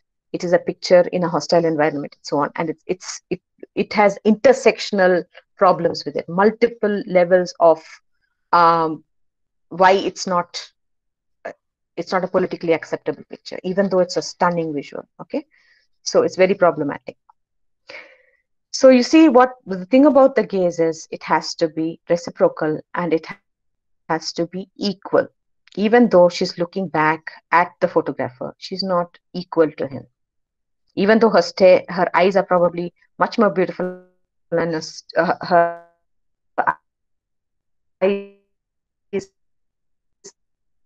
her stare is much more. Why? Lacan has his favorite story um, when he went out fishing uh, with the people, uh, with the fishermen, local fishermen in his late teens or early 20s. And uh, Jacques, the fisherman, says, no, who was it? Pierre. Okay, one of the fishermen, the boat says, he catches sight of this uh, a tin can which is glinting in the dark in the sea. Okay, I've just got a random tin can, but he says ha ha ha he starts laughing and Lacan says what what what, what what's going on you see that tin can that's glinting in the light it's like catching the light you can you you see that can do you see it? Then he laughs. Yeah it it turns back and says it doesn't see you. Ha ha ha. So what's so great about this? Take a look at this image. This is barbara kruger's famous work. Your gaze hits the side of my face. And when you look at this image you know that she cannot look back. One, she's a marble statue, so she can't, she doesn't have the benefit of being able to turn out, uh, turn back and look at you. she's immobile, she's inanimate, and the other, she's a woman. So there are two elements in this uh, particular image which poignantly point out that unless a gaze is reciprocated, you know, face to face, and not in all circumstances, that it is actually, the gaze can actually be an object of power. It can be uh, a way of imposing your power on the person you're looking at. So you become the subject and they become the object and you gaze at them as if, you know, they're a worm in your salad or uh, an object, not like they're a person. And so you can have the intersubjective gaze, like the gaze between lovers, or the gaze between equal people. You, you see that I'm just looking at gazing at this at dot on my screen. It's it's this reciprocation is not happening, but I'm assuming it is. Yeah. Or it can be a gaze of power. Gaze is always a thing of power when it's not reciprocated equally. So this is an interesting thing that visual culture does. Voyeurism. Voyeurism is an illegitimate gaze. When you're looking at something and you are kind of creepily looking at you know a woman changing or sexuality through uh, the keyhole of a door you're doing a peeping tom number. Um, edgar degas has done many of these beautiful pastels uh, by um, you know of women changing and there are always these kind of back views and clearly they're keyhole views. Everyone praises art history praises them as oh wonderful paintings what a beautiful painting look at the uh, use of pastels look at the cropped compositions and so on. But you know the the feminists have talked about how this is an act of voyeurism. Women unaware of being watched when they're engaged in their private uh, you know daily routines. Somebody is the artist is watching them and reproducing them. So even if they may be beautiful it's a highly problematic image. So the activity of getting pleasure from secretly watching people in sexual situations or more generally from watching other people's private lives. For example uh, one of the commonest examples of voyeurism clearly where one person has power and the other person is powerless is all of you must have seen in india when we go in a bus or something like that, we see a road accident, the entire bus leans sideways because everyone wants to see the road accident. Are they going to do anything about it? Can the road accident them see back? No, we just get a pleasure in looking at the at, at their state of disarray. We want to know the human story behind it, and we see the blood dripping and all, and we move on. Yeah, so that is a kind of ghastly voyeurism, which is simply not okay. And a lot of voyeurism is also happening uh, on online where you know people uh, take for example i get very disturbed when people post images in, in the public domain like in facebook public uh, of their own children singing or dancing or something like that. Because i think oh gosh don't expose your children to random people looking at them because the world has become in such seamless in such a way that anyone can do this voyeurism you know so uh, even uh, paint, posting selfies, I have a lot of reluctance to post selfies because it's a kind of it it uh, opens one up to voyeurism, and voyeurism is definitely a criminal act. It's legally a criminal act, but it's also an act of violence. You're looking illegitimately at something you're not supposed to be looking at. You're taking pleasure from something that's usually a source of privacy or of pain. So this is another concept that's very interesting. Susanna at the Well that I've already shown you in the con context of the visual culture of rape. Uh, the two versions of this. It's a very favorite theme, obviously, because it encourages voyeurism. Here you can see a pretty woman. It's a good excuse to show a pretty naked woman and two dirty old men looking at them. And the interesting thing about the dirty old men is that they're not threatening. So obviously all these paintings are aimed at the male gaze. Okay, they aimed at a male viewer. Obviously, men have money. They commission the paintings, and uh, it's basically to pander to their gaze. So seeing a beautiful woman in distress seems to be okay because you know the people who are actually commanding her attention at, at the moment are two very ugly old men who are not really competition for the person, the male gazer, the person, uh, the man who's bought it. Probably a young man, not like those dirty old men at the back. So they're not really serious competition. And you can see that Um, I'm going to tell you that one of them is done by a male artist and the other by a woman artist, both of more or less the same period. And you can think about which may be whose and why you think so. Just take a look at it. We're not discussing this, but just take a closer look at it and think about which you think might have been the women artist and what has been done in that painting uh, in order to sometime somewhat change the equation between the viewer, who is the basically the male viewer. Even if I'm woman, I'm looking at it through the male gaze. I'm expected to. That's how the picture positions me. And you see how the image uh, is is accessible to me as the male viewer. Okay, so we see which, according to access, you see which one may be male and which one may be female. Okay, so Laura Mulvey says visual in, uh, in a very famous landmark essay called Visual Pleasure and Cinema, says that voyeurism, which he calls the male gaze, are foundational in Hollywood movies, very much foundational in Indian movies, to the extent that the male character always actively looks and the female character is passive as the object of attention. So here are the men leering at the woman. The woman is just averting their gaze, like the, the, the, she's pushing away their gaze and their physical presence. Okay, so she's she's helpless and they have all the agency. She is like just defending and they are on the offensive. Okay, so this actually extends much further. John Berger has a fabulous statement about it as an opening statement in Ways of Seeing.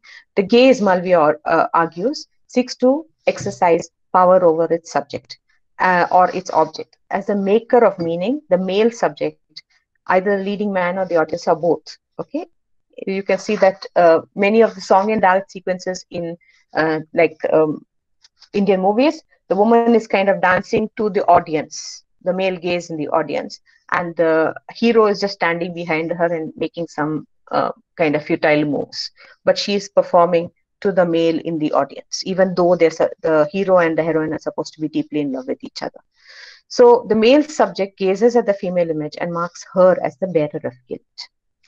Now there is one more more interesting theories. I can't cover all of them in this particular talk ocular centrism that is the privileging of vision over other senses. It's not true of all commun- all cultures. Many cultures have uh, privilege uh, the sense of hearing you know over or give them give hearing the equal status as uh, the visual you know.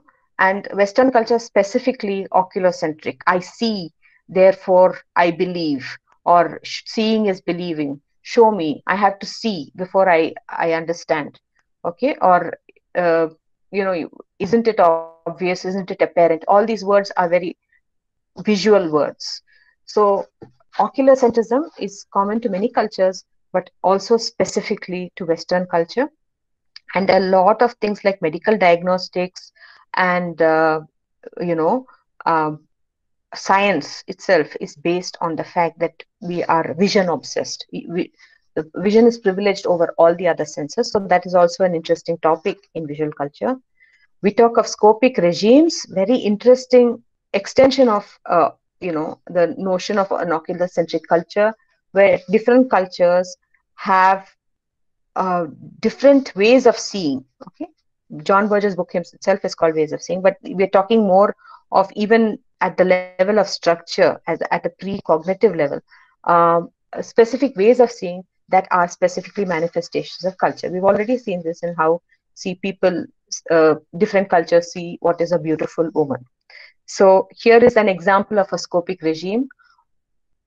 On the left is a, a I think it's a Dutch artist, Netherlandish artist. Anyway, it's a, a Western European artist, Madonna and Child uh, with angels. And on the right is a Mughal painter who has clearly taken the reference from this, probably from a woodcut or an engraving.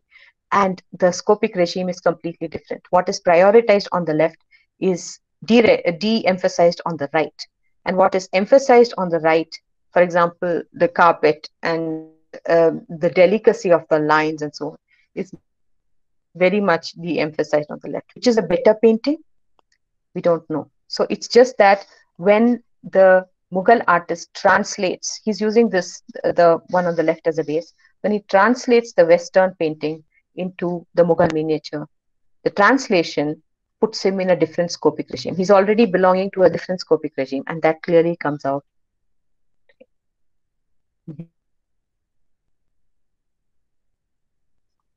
Damayanti, I think, and the way he transforms what is already a very clear composition in Western art, Eros and Psyche. So you can see how it changes with his all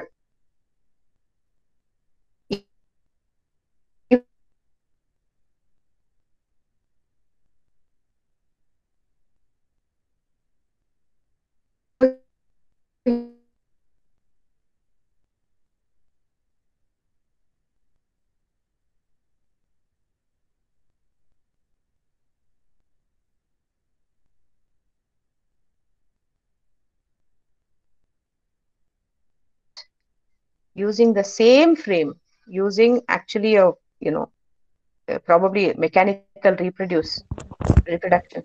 Yeah. Can we stop now?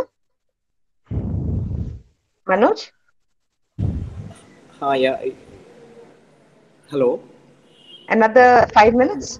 Yeah, Can yeah. I go on for another yeah, five minutes? Sure, I just want to conclude. Sure, we have enough time. Yeah. yeah. yeah yeah so this is actually uh, you can see what what strange things have happened composition is Uh, clearly excuse borrowed me, ma'am. Yeah. Uh, I Yeah? hope the last few minutes was not clear actually. The audio was uh, not clear actually. I hope so. from when from which side Uh, uh, the last two from slides. scopic regimes The last two slides. you saw till ma'am. here this one was okay Mm, was the audio clear for this Yeah, yeah, it is clear now. Yes, after this, after this. okay no the, this is just to say how ravi varma on the right has taken the composition um, and even the setting from uh, eros and psyche done by various western artists and how the scopic regime to which he belongs to makes him change the entire feel of the picture, the gestalt of the picture. Despite the fact that he's using the same medium, he's clearly borrowing the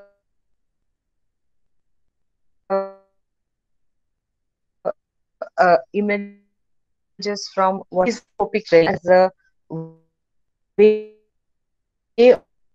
of composing a picture, a way of looking at the world has actually changed uh, in the picture on the right. Manoj? Hello. Guys, can one of you come in and say whether you can hear me? Again, there was a problem. Yeah, little bit. It was not. Okay, let me just go on. Okay, is it Sure. clear now? Yeah. Now Is it's it- clear. Yeah. Yeah. Can one of can you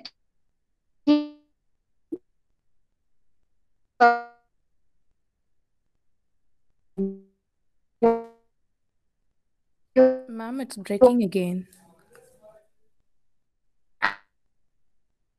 tell me if it goes off okay uh, because the last and of collection of uh, calendar art uh, you know images um, you can see that it has completely changed in so many ways to cater to a kind of uh, popular visual culture th- uh, mentality in india including uh, perfectly done eyebrows and pink lips for all the characters and clarity there's no one side light like you have in very much part of Leonardo da Vinci. You can see that the sfumato is gone for a toss and you have extremely clear outlines and so many interesting features, including what's kept on the table and the artist's own imagination of what lies below the table. Okay. So if you think, if you compare these two, you realize what are the elements of the 20th century popular scopic regime in India and the the compulsions of offset printing that the calendar art there's also the commercial angle to it right? The how it is what is the medium of the production and how it is produced and who it is supposed to cater to. So you can see that this would be a popular version of leonardo da vinci in today's uh, so if you just separate out the elements what what has changed? You realize that we are operating the artist and all of us are operating under totally different scopic regime so, just to sum up, how is art history different from visual culture studies? Obviously, they overlap, and artists and art historians are also doing both art history and visual culture studies. We don't say okay now i'm stopping to do art i'm stopping doing art history and i'm drawing a boundary and now i'm going to do visual culture. So that's not how the way it operates. But it's interesting to know what visual culture studies can add to art history as as a uh, and extend its field of operation. Okay so it extends the field of art history in, in many interesting ways. So when art history looks at objects it looks at mostly what it frames as artworks. The, the very reason why it's called art history is because it looks at artworks. Of course there are many exceptions to this. For example we look at indus valley terracotta toys. But because they're ancient we put them in an art you know we kind of con- con- conduct use them as a kind of artwork for a lot of uh, time uh, for a lot of period through, throughout the colonial period um, indian sculpture and architecture were cons- considered archaeological artifacts it was only the 1910 uh, to 1920 period that there was a huge challenge to that from the nationalist art historians like uh, E.B. Havell Coomaraswamy, Abanindranath Tagore, who changed the notion of archaeological artifacts to artworks. Okay, it was it was just borderline that, but they made it artworks, and we look at it through an art frame. Okay, so but mostly art history looks at artworks and artists and biographies and context. Yeah, whereas visual culture studies can look at anything visual. You can see that I brought in a lot of calendar art. Most art history, I mean, traditional art history would say, how can you look at calendar art? That's not art. There's nothing aesthetic about it. It's kitsch. Yeah. And the whole distinction between art and kitsch was very prominent in modernism. But in vis- visual culture studies, loves objects of popular culture. So anything visual, even X-rays, even remote sensing photographs, can actually be analyzed in uh, as part of visual culture studies okay obviously not just for themselves you have to see them in a context okay so art history is also more interested in the moment of origin so when i'm talking about leonardo da vinci's last supper i will talk about leonardo about um, uh, the renaissance europe early uh, renaissance talk about milan about his patronage uh, so basically i'm also interested in what how Leonardo thought. So I have a person out there, an imaginary person called Leonardo da Vinci. His psyche, a lot of his writings remain. So I'm interested mainly when I'm looking at the Last Supper. I'm interested mainly at the moment of origin, whereas visual culture culture studies would be more interested in the context of reception. So how Leonardo da Vinci made that painting and what was his what was his visual culture what was the visual culture around him at that period would be as interesting for a visual culture studies person as it would be to understand how somebody in the 21st century goes to the Louvre, you know, say an African, you know, from um, uh, sub-Saharan Africa, goes and looks at Leonardo da Vinci's Last Supper. So that would be an equal, equally interesting topic as much as how Leonardo painted the picture, in what context he painted that picture, how the people around him reacted to it, how the people in 18th century reacted to it, how we sitting in India react to uh, Leonardo da Vinci's uh, Last Supper. All this would be part of visual culture studies analysis of Last Supper, whereas art history would stick to a more point of origin kind of when it was made, who made it, that kind of thing. Okay, so uh, the uh, conceptual categories of art history include form, style, aesthetics, iconography, provenance. When was the painting made? Who who was it made for? Who was the patron, and so on. So, on iconography, what does it represent? how is its aesthetics how is it beautiful what is the medium that's used and so on so these would be the categories that art history deals with whereas in visual culture studies you would deal with other categories like we've already talked about scopic regimes the gaze ocular centrism and so on. So the conceptual framework what art history and visual culture studies they might be studying the same object but what they're making out of that object is extremely different. Yeah it's a bit like the six blind men and the elephant two different uh, completely different perspectives. And art history generally it's not necessary but generally deals with artworks and frames even recent works like as if they were made in the past as if they have a history whereas uh, visual culture studies is best for working with contemporary phenomena popular culture recent phenomena and so on okay because the context is so important and in the case of past works we have lost a lot of the context so it doesn't it's less vigorous when it comes to dealing with something in the 16th century India or something like that. So it cannot really handle those elements very well. Whereas art history can. It has the tools to deal with it. Okay. So the most important difference between art history and visual culture studies, this is a philosophical difference, and I need you to you know pay attention to it carefully, is that art history generally, okay, it has a realist or objectivist perspective, and visual culture is fundamentally constructivist. Now, I don't expect you to know what that means, but here is a, my attempt at explaining what that means. So, when you look at um, different types of uh, theories about we understand the world, so objectivism or the realist perspective says basically that reality pre-exists. There is a certain reality that exists beforehand.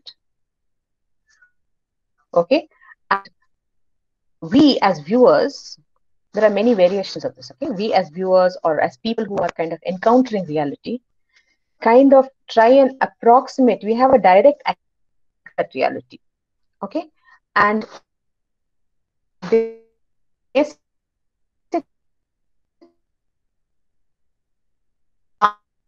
of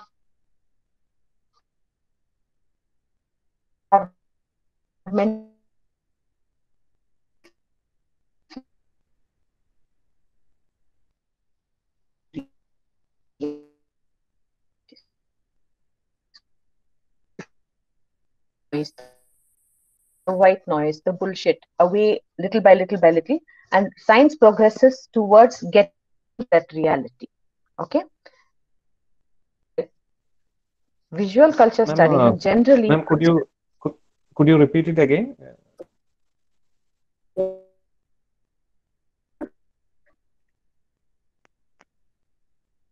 now? Is it what? Is the voice clear now? Hello. Yeah, ma'am. Now it is clear. Okay. Was it not clear? Okay. Sorry. I'm so sorry. This is an important aspect. So the uh, a major difference between art history and visual culture. I'm sorry if I'm repeating myself because I have no input. Is epistemological, which is the structure of knowledge and how we conceive, how we say that knowledge can be uh, created. How do people create knowledge? So that is basically a, um, an epistemological issue. Okay. How do we know some? Uh, what do we know, and how do we know it? That is an. Uh, those are pr- primary epistemological questions at the level of philosophy. So uh, there is a mass- massive difference between art history's epistemology, most of art history, not all of it. Recently, it has changed a bit, and visual culture's epistemology. And we need to understand this difference. Art history has traditionally been realist or objectivist, and that means, uh, like science, like a lot of things till the 19th century, we believe that the world, uh, a realist would believe that the world and its reality pre-exists the knower. That means I am knowing the world, but before me, the world already exists as a reality. And if I am a real scientist or a real seeker or a real knower, I will slowly chip away all the noise in my head, all the noise, uh, you know, all the white noise that's in my head or the biases that are blocking my vision and get closer and closer to reality because I have unmediated access to reality. The world is real, the natural world outside the physical world is real, and I can actually access it if I cut away the bullshit from my from my brain. Like if I slowly, I can slowly refine and refine and refine my approach, and finally I'll come to the truth or to reality. Okay, so uh, the constructivist paradigms, which are uh, more of a more recent, but they're also very ancient. You have constructivist paradigms in you know in Buddhism and so on. Uh, it's a very interesting break away from the realism, uh, which basically says that the knower, the person who knows or is trying to get knowledge, does not have an unmediated access to reality. Reality might exist, whether it exists or not, we don't know. The world is real, the natural world is real, the physical world might be real or not real. The thing is, we never have direct access to it. We never have unmediated access to it. Okay? Our wor- our notion, our understanding of reality will always be mediated through our culture. through our society.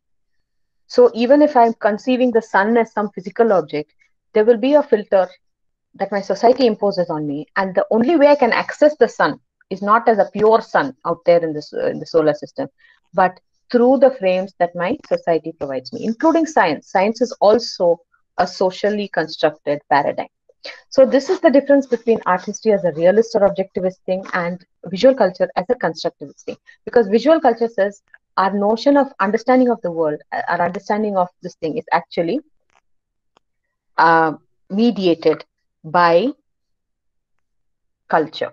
Okay, so you you've seen that we made the huge argument till now, and that is one of the primary epistemological differences between art history. Art history tell you what is there in the picture, uh, what was there in the society that uh, the artist lived in, and so on and so forth. But visual culture will tell you how we know the picture and what are it will make you understand or conscious of the frames through which you're looking at a picture and that is why it's constructivist. It doesn't believe that there is a reality called a painting or a world that the painting represents. Okay? So it's actually a very complex issue. I can't deal with it now. In the subsequent uh, session we will be looking at visual codes how they're appropriated modified reproduced and we'll also be looking at uh, and we'll also be looking at the rhetoric of the visual which is how the visual is expressive and it can change our mind, including images like this. Okay, so here are some interesting random websites which I just pulled out uh, for you to use as reference. Uh, I'll pass it on to Manoj and he can pass it on to you. So these are some interesting sources for visual culture. Yeah, so John Berger was not a visual culture person as such. By that time, the theory hadn't come in. He was one of the important precursors of visual culture. His ways of seeing is a very important proto visual culture text. So that's it for today's session. Um, can we go back?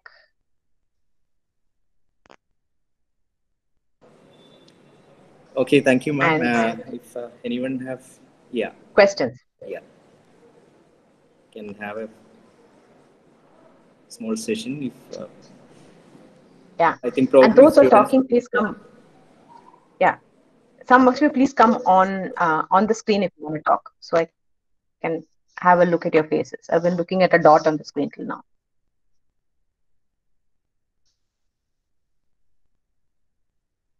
Since i don't have any feedback did this make any difference to your understanding of visual culture versus art history some of the students was there uh, clarity in there?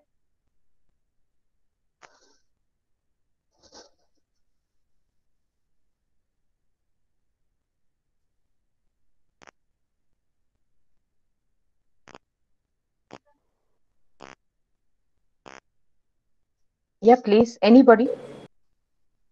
Hi, ma'am. Uh, it's Bhagat. Yeah. yeah. Hi, Bhagat. Yeah. yeah.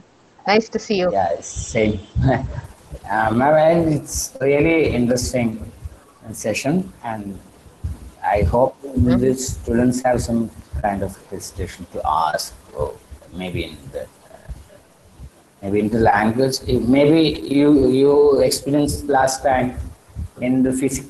We all faced the this kind of trouble in uh, this pandemic session. Also, this virtual yes. space is not worth much to share mm. that sense. So maybe the next session That's they will come forward to ask something more.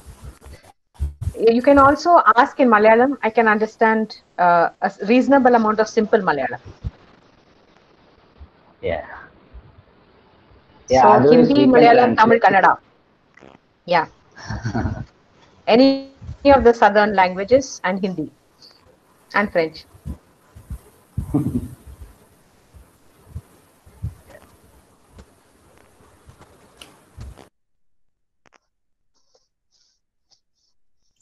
Good afternoon, ma'am. Uh, I'm Krishna Priya. Hi, Krishna Priya.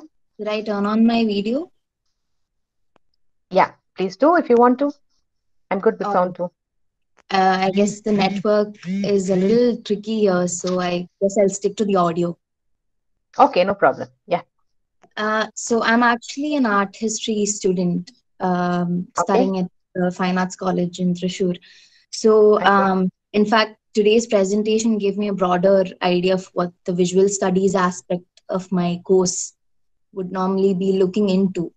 So that Mhm. way, the presentation was very helpful. Um, Okay. I do have a question. Mhm.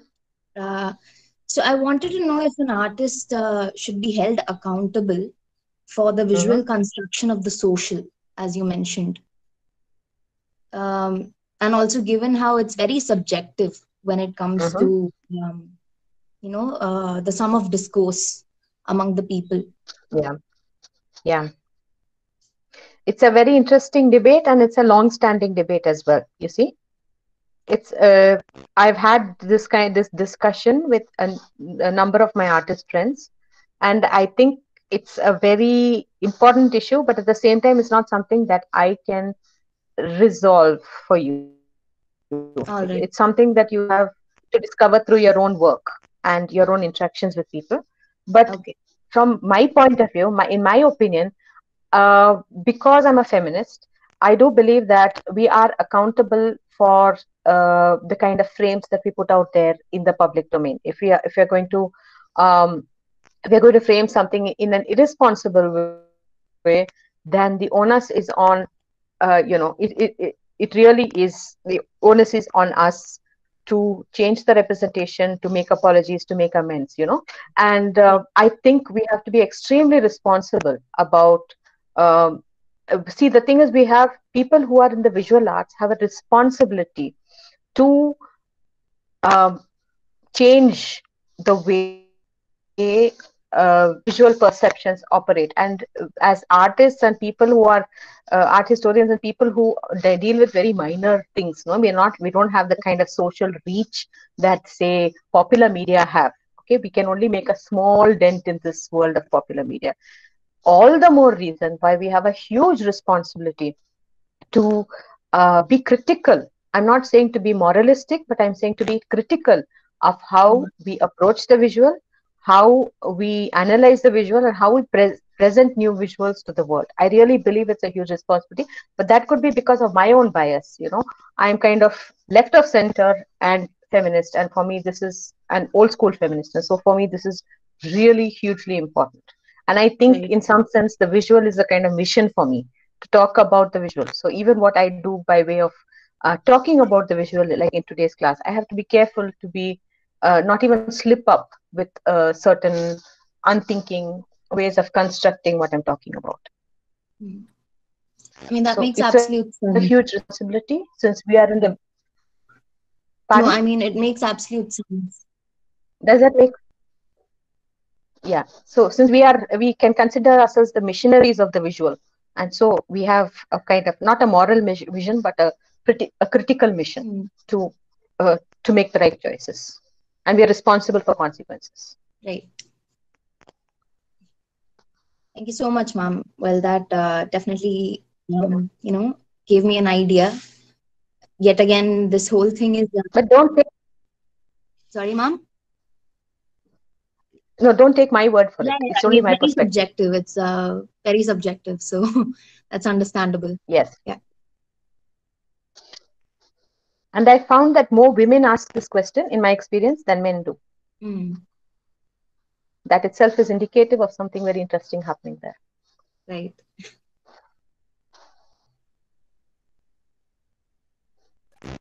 Hello, hello, hello, Yes. madam. I'm Manu. I am. Yes. Uh, at, uh, today my phone is not working. Uh, I have no phone now, and that way I am yeah yeah joining from Sangeeta's. I have a question. It's how no this, problem doesn't uh, matter this visual cultural studies how they take these concepts of Uh-huh. uh, abstraction and or uh, the uh, more abstract question how they Mhm. confront with them they complete are they completely denying the or how they uh, take all that abstract questions or You're talking of abstraction no in how art? Are you talking of like no, no, Jackson no. Pollock? And, Uh, how the visual cultural studies, uh, the visual culturist, how they take this kind of uh, topics, how they deal with this kind of topic. Are they completely denying them, or which kind of topics? I can't understand. uh, Manu? the the, the Which kind of topics, topics the, the topics uh, the art historians are concerned of?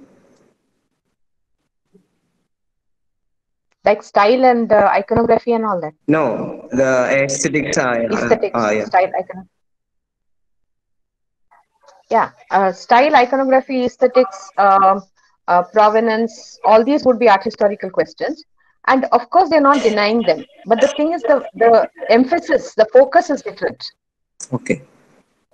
So if you if you look at a visual uh, in terms of art history plus visual culture, what you have is a largely expanded field. You know, Yeah. so uh, it's like it's like taking a much uh, like I said, the lens becomes rather larger. From from uh, your mobile screen, you're looking at it on a large screen. Yeah. So you have a much larger background and stuff that comes into it, and you have a much wider scope for exploring the visual. So there's a lot of overlap, but uh, so there's art history, then there's an overlap area, and then there's visual culture. So your screen becomes very panoramic. You understand what I'm saying? Yes, yes. Okay.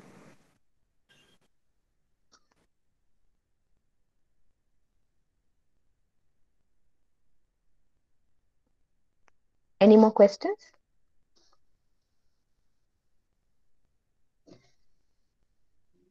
You please uh, do give me feedback uh, and questions, you know, by WhatsApp or uh, email because I have no sense of whether what I said makes sense or not because there's so little feedback.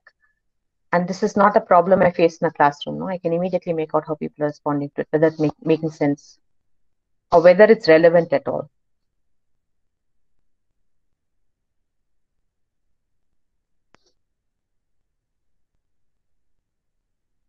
So there's just two or three questions that I wanted to ask if it is clear, and I, I want a couple of responses for that.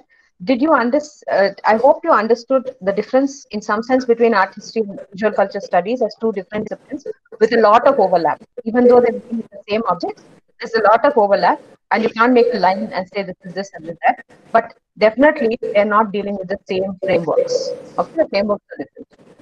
I'm hoping that everybody understood how difference happens. And uh, also, ma'am, there is a question from, uh, not a question, a message from Mr. Arun.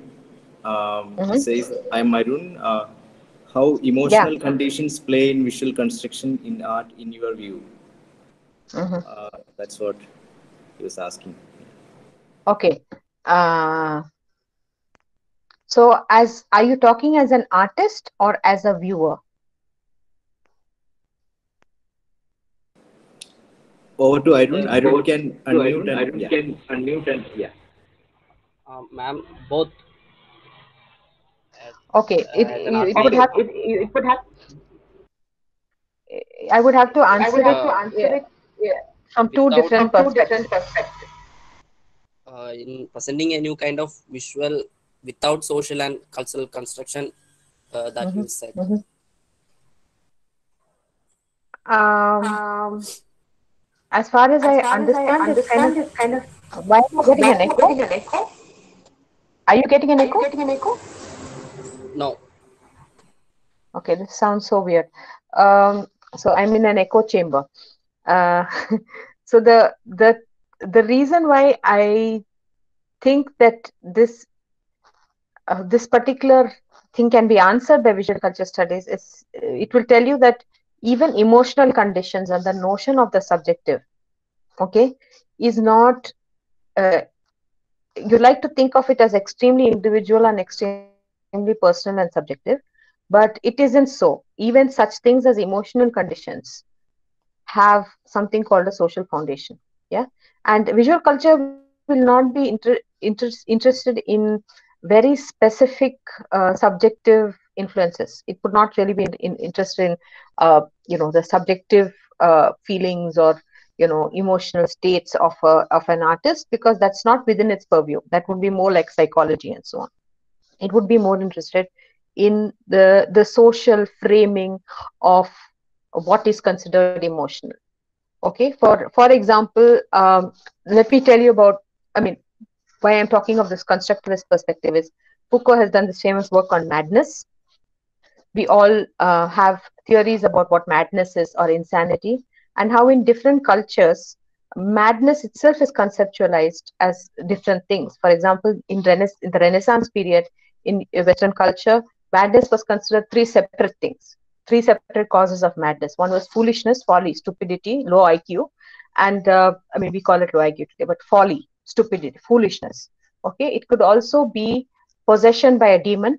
That is some or something has come and possessed you. From some external evil force has possessed you. Uh, like we have again in india. And the third thing could be melancholia depression.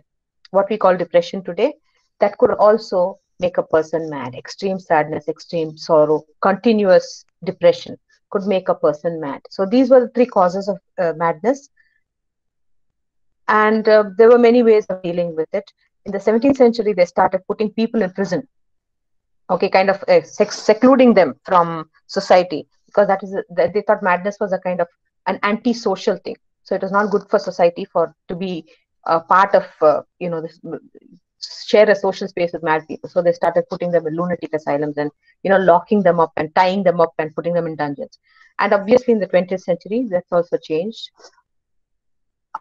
uh, we initially were as not just uh, dungeons where you chuck mad people, but asylums where uh, or uh, hospitalized care for mad people. And uh, today uh, we have um, the the pushes towards home care for even people who are mentally disturbed, and we don't say mad anymore. Yeah, mad is like just a pejorative term. We say mentally disturbed, personality disorders, this, that, and this. We have whole number of words to cover madness.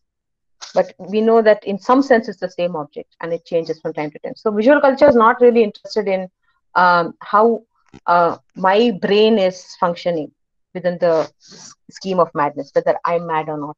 But it's interested in how my society frames me as a mad person. You understand? I'm just giving you a, an example of how this could work. So uh, my, my own mental disturbance would be something for me to check out with my psychologist or my psychiatrist with my therapist. But uh, visual culture is not really interested in that, but interested in a contextual understanding of, you know, my mental condition, how society makes me so.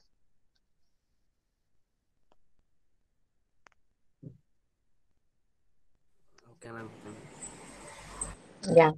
I think Mr. Lal K, uh, he's a professor from College of Fine Arts, Trivandrum. He Yeah. said, uh, Madam, excellent presentation. Mhm. And then there's a question. Uh, history is mostly a story of successful people or people of people in power? Question mark. Like the unsuccessful, powerless people and their Mhm. imagination and life. There's a question mark. Yeah, that's it.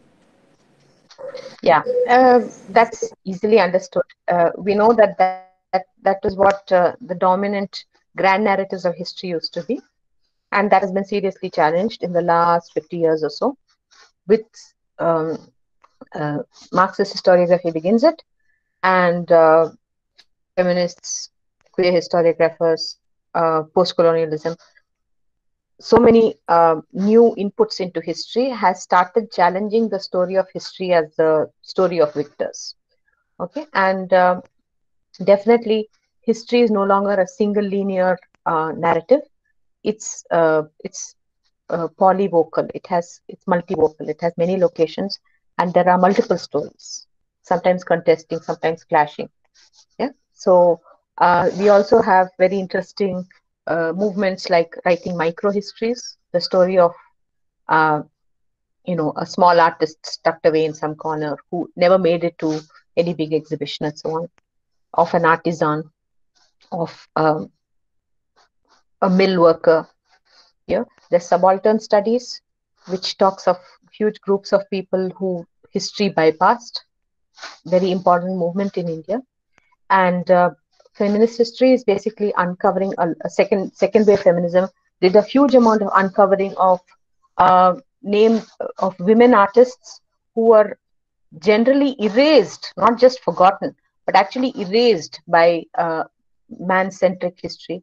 And the same thing is actually happening for queer histories, um, uh, questioning erasures, okay? Uh, because it's inconvenient for patriarchal society. Uh, a lot of subaltern history and recent Dalit history is talking about people who are definitely uh, the stories that were never told because uh, history is hegemonic, has always been hegemonic. So unearthing stories of, uh, say, Dalits who uh, were historically important, who changed their society, but uh, they were never recognized for that simply because um, hege- uh, hegemonic histories have a way of bulldozing and flattening all those stories which exist. So it's no longer uh, history is no longer a story of successful people. It's it's a it's an arena of contest, contestatory uh, politics, and uh, a lot of people refuse to write history of successful people. We have that as a kind of a general framework, and we you know read between the lines and against the grain to unearth histories which of the lesser known, less successful, less power, powerful people my history my project for instance is is, uh, is my long term project for the last five years has been to look at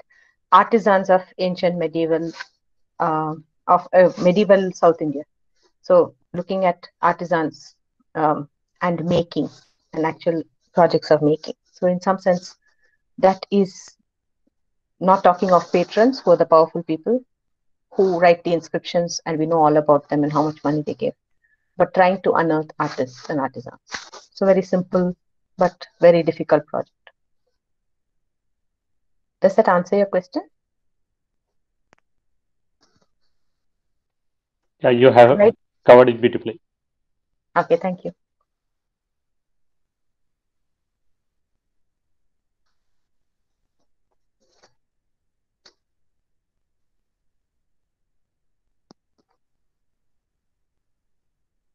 Guys don't feel that there are no wrong questions to ask. I uh, in a classroom my classrooms are very noisy and very interactive. So this is really strange talking to a this thing and there's no interaction at all. So please don't feel that there's any wrong question or silly question. There's no such thing. Any question is good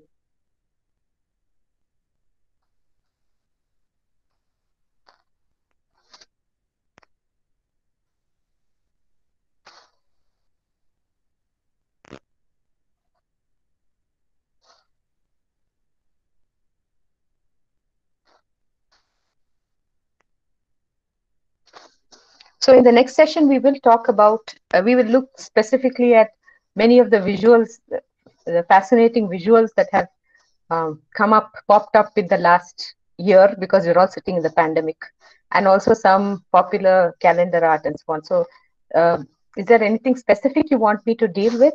Any idea, area that, because I've not fully constructed it, I have accumulated some visuals which we can discuss from the visual culture frame. So is there anything specific you'd like to discuss? Madam, one more question I have. Yeah, tell me. How this Yeah, voyeurism become, how this voyeurism becomes uh, crime?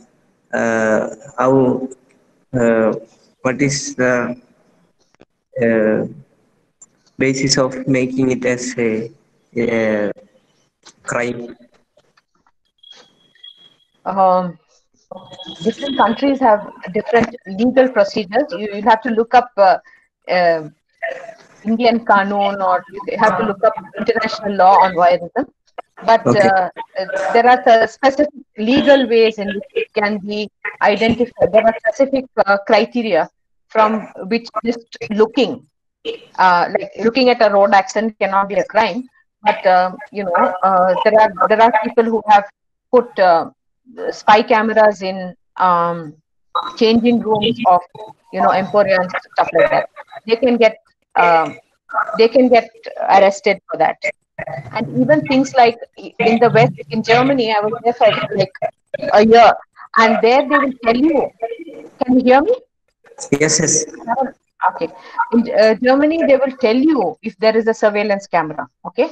There will be a definite notification that says uh, you are under surveillance or you are, uh, that there is surveillance, surveillance camera because people consider it surveillance is also kind of uh, kind of voyeurism. No? It can be a kind of voyeurism if it's done from not necessarily sexual, but it's kind of in, it's a very invasive kind of watching somebody, right?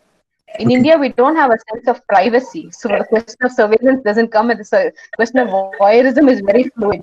So that even the definition of privacy is very problematic in India. Yes, yes. Yeah. So, uh, so it, it's a very slippery law, and I don't know if it can be imposed in India and whether there have been any successful cases, except obvious things like putting a spy cam spy camera in in a changing room. Those kind of things can get you arrested. But I really don't know if there are any.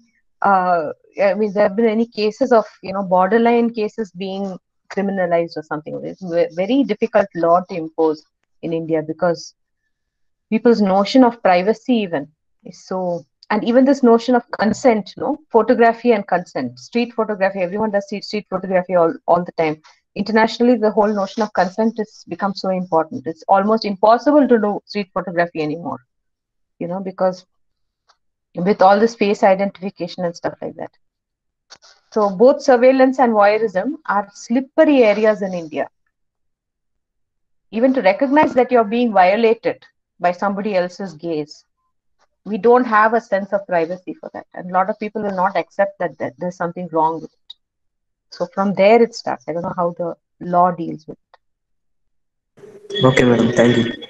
Mm.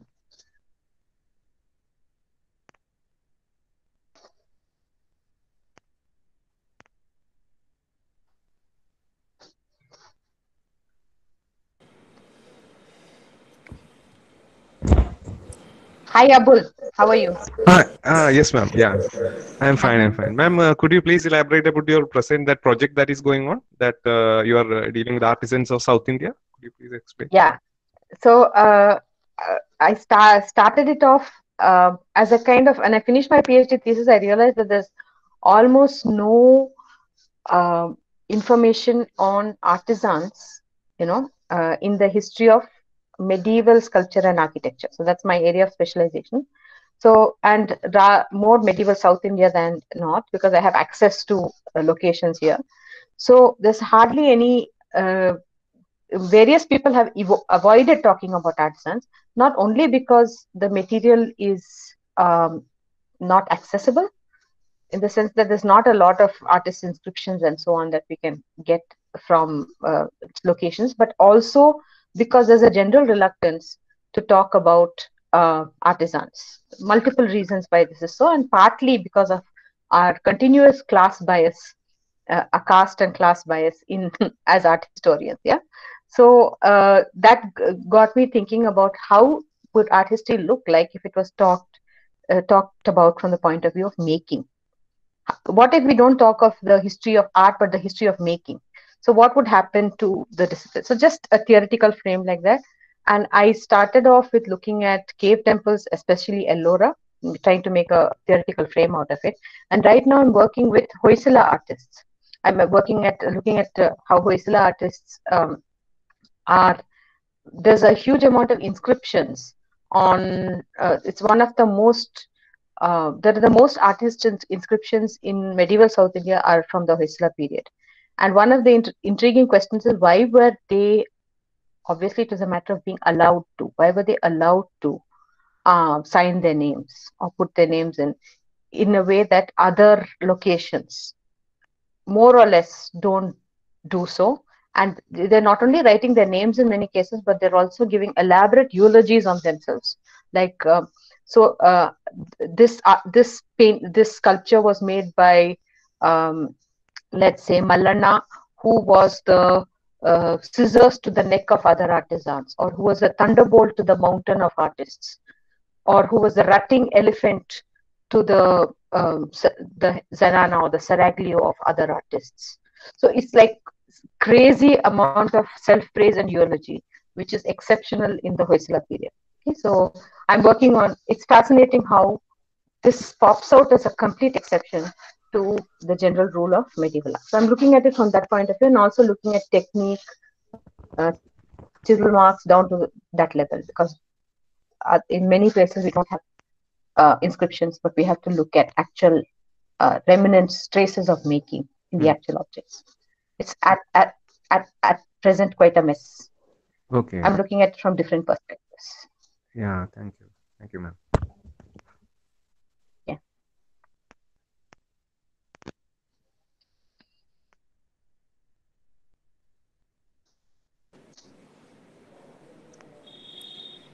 So I think uh, almost questions is over. Yeah, Yeah. that's wonderful. Yeah. Okay. I think uh, it's time to conclude. Uh, maybe it's more than one hour. Wonderful. Yeah. yeah. And uh, Yeah. maybe hoping uh, for a wonderful session uh, day after tomorrow. Um, we are grateful to Dr. Thank Okay, you so much. Okay. We are grateful to Dr. Sharada Natarajan. Uh, she has been uh, in a busy schedule of uh, her own research and uh, she was planning some field trip. In between, he offered uh, two sessions for us. So that is uh, really like, you know, it's a privilege to have you um, for us. Uh, anyway, thank you so much, ma'am. Uh, let's meet again uh, day after Thank you. at 11 a.m. Uh, thanks. Yeah. Wonderful. Okay. Thanks, everyone. And and Manoj, can you please make it possible for questions to come in so I can address them at the beginning of the next? Sure, sure. I will. I will pass on this. Uh, Yeah.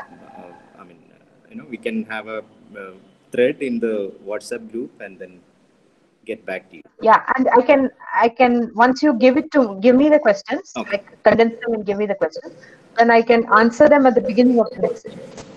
All right. All right. Yeah. Simply because this interaction is uh, so limited, right? And I Yes. feel very awkward. Yeah. But will know my classes were very interactive. yeah. yeah. That was. yeah. That used to be very super interactive. Yeah. Yeah. Okay. All right. Yeah. Thanks, guys. See you uh, day after tomorrow. Yeah. Ma'am, and please come uh, physically to our college as Definitely. whenever you. Yeah.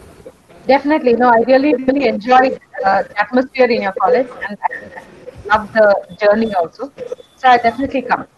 Let's this pandemic settle down for a maybe couple of months maximum. Yeah. And yeah, Thanks, I would be very privileged if you invite me. Yeah. Okay. Thanks, ma'am. Thank you. Bye. Bye.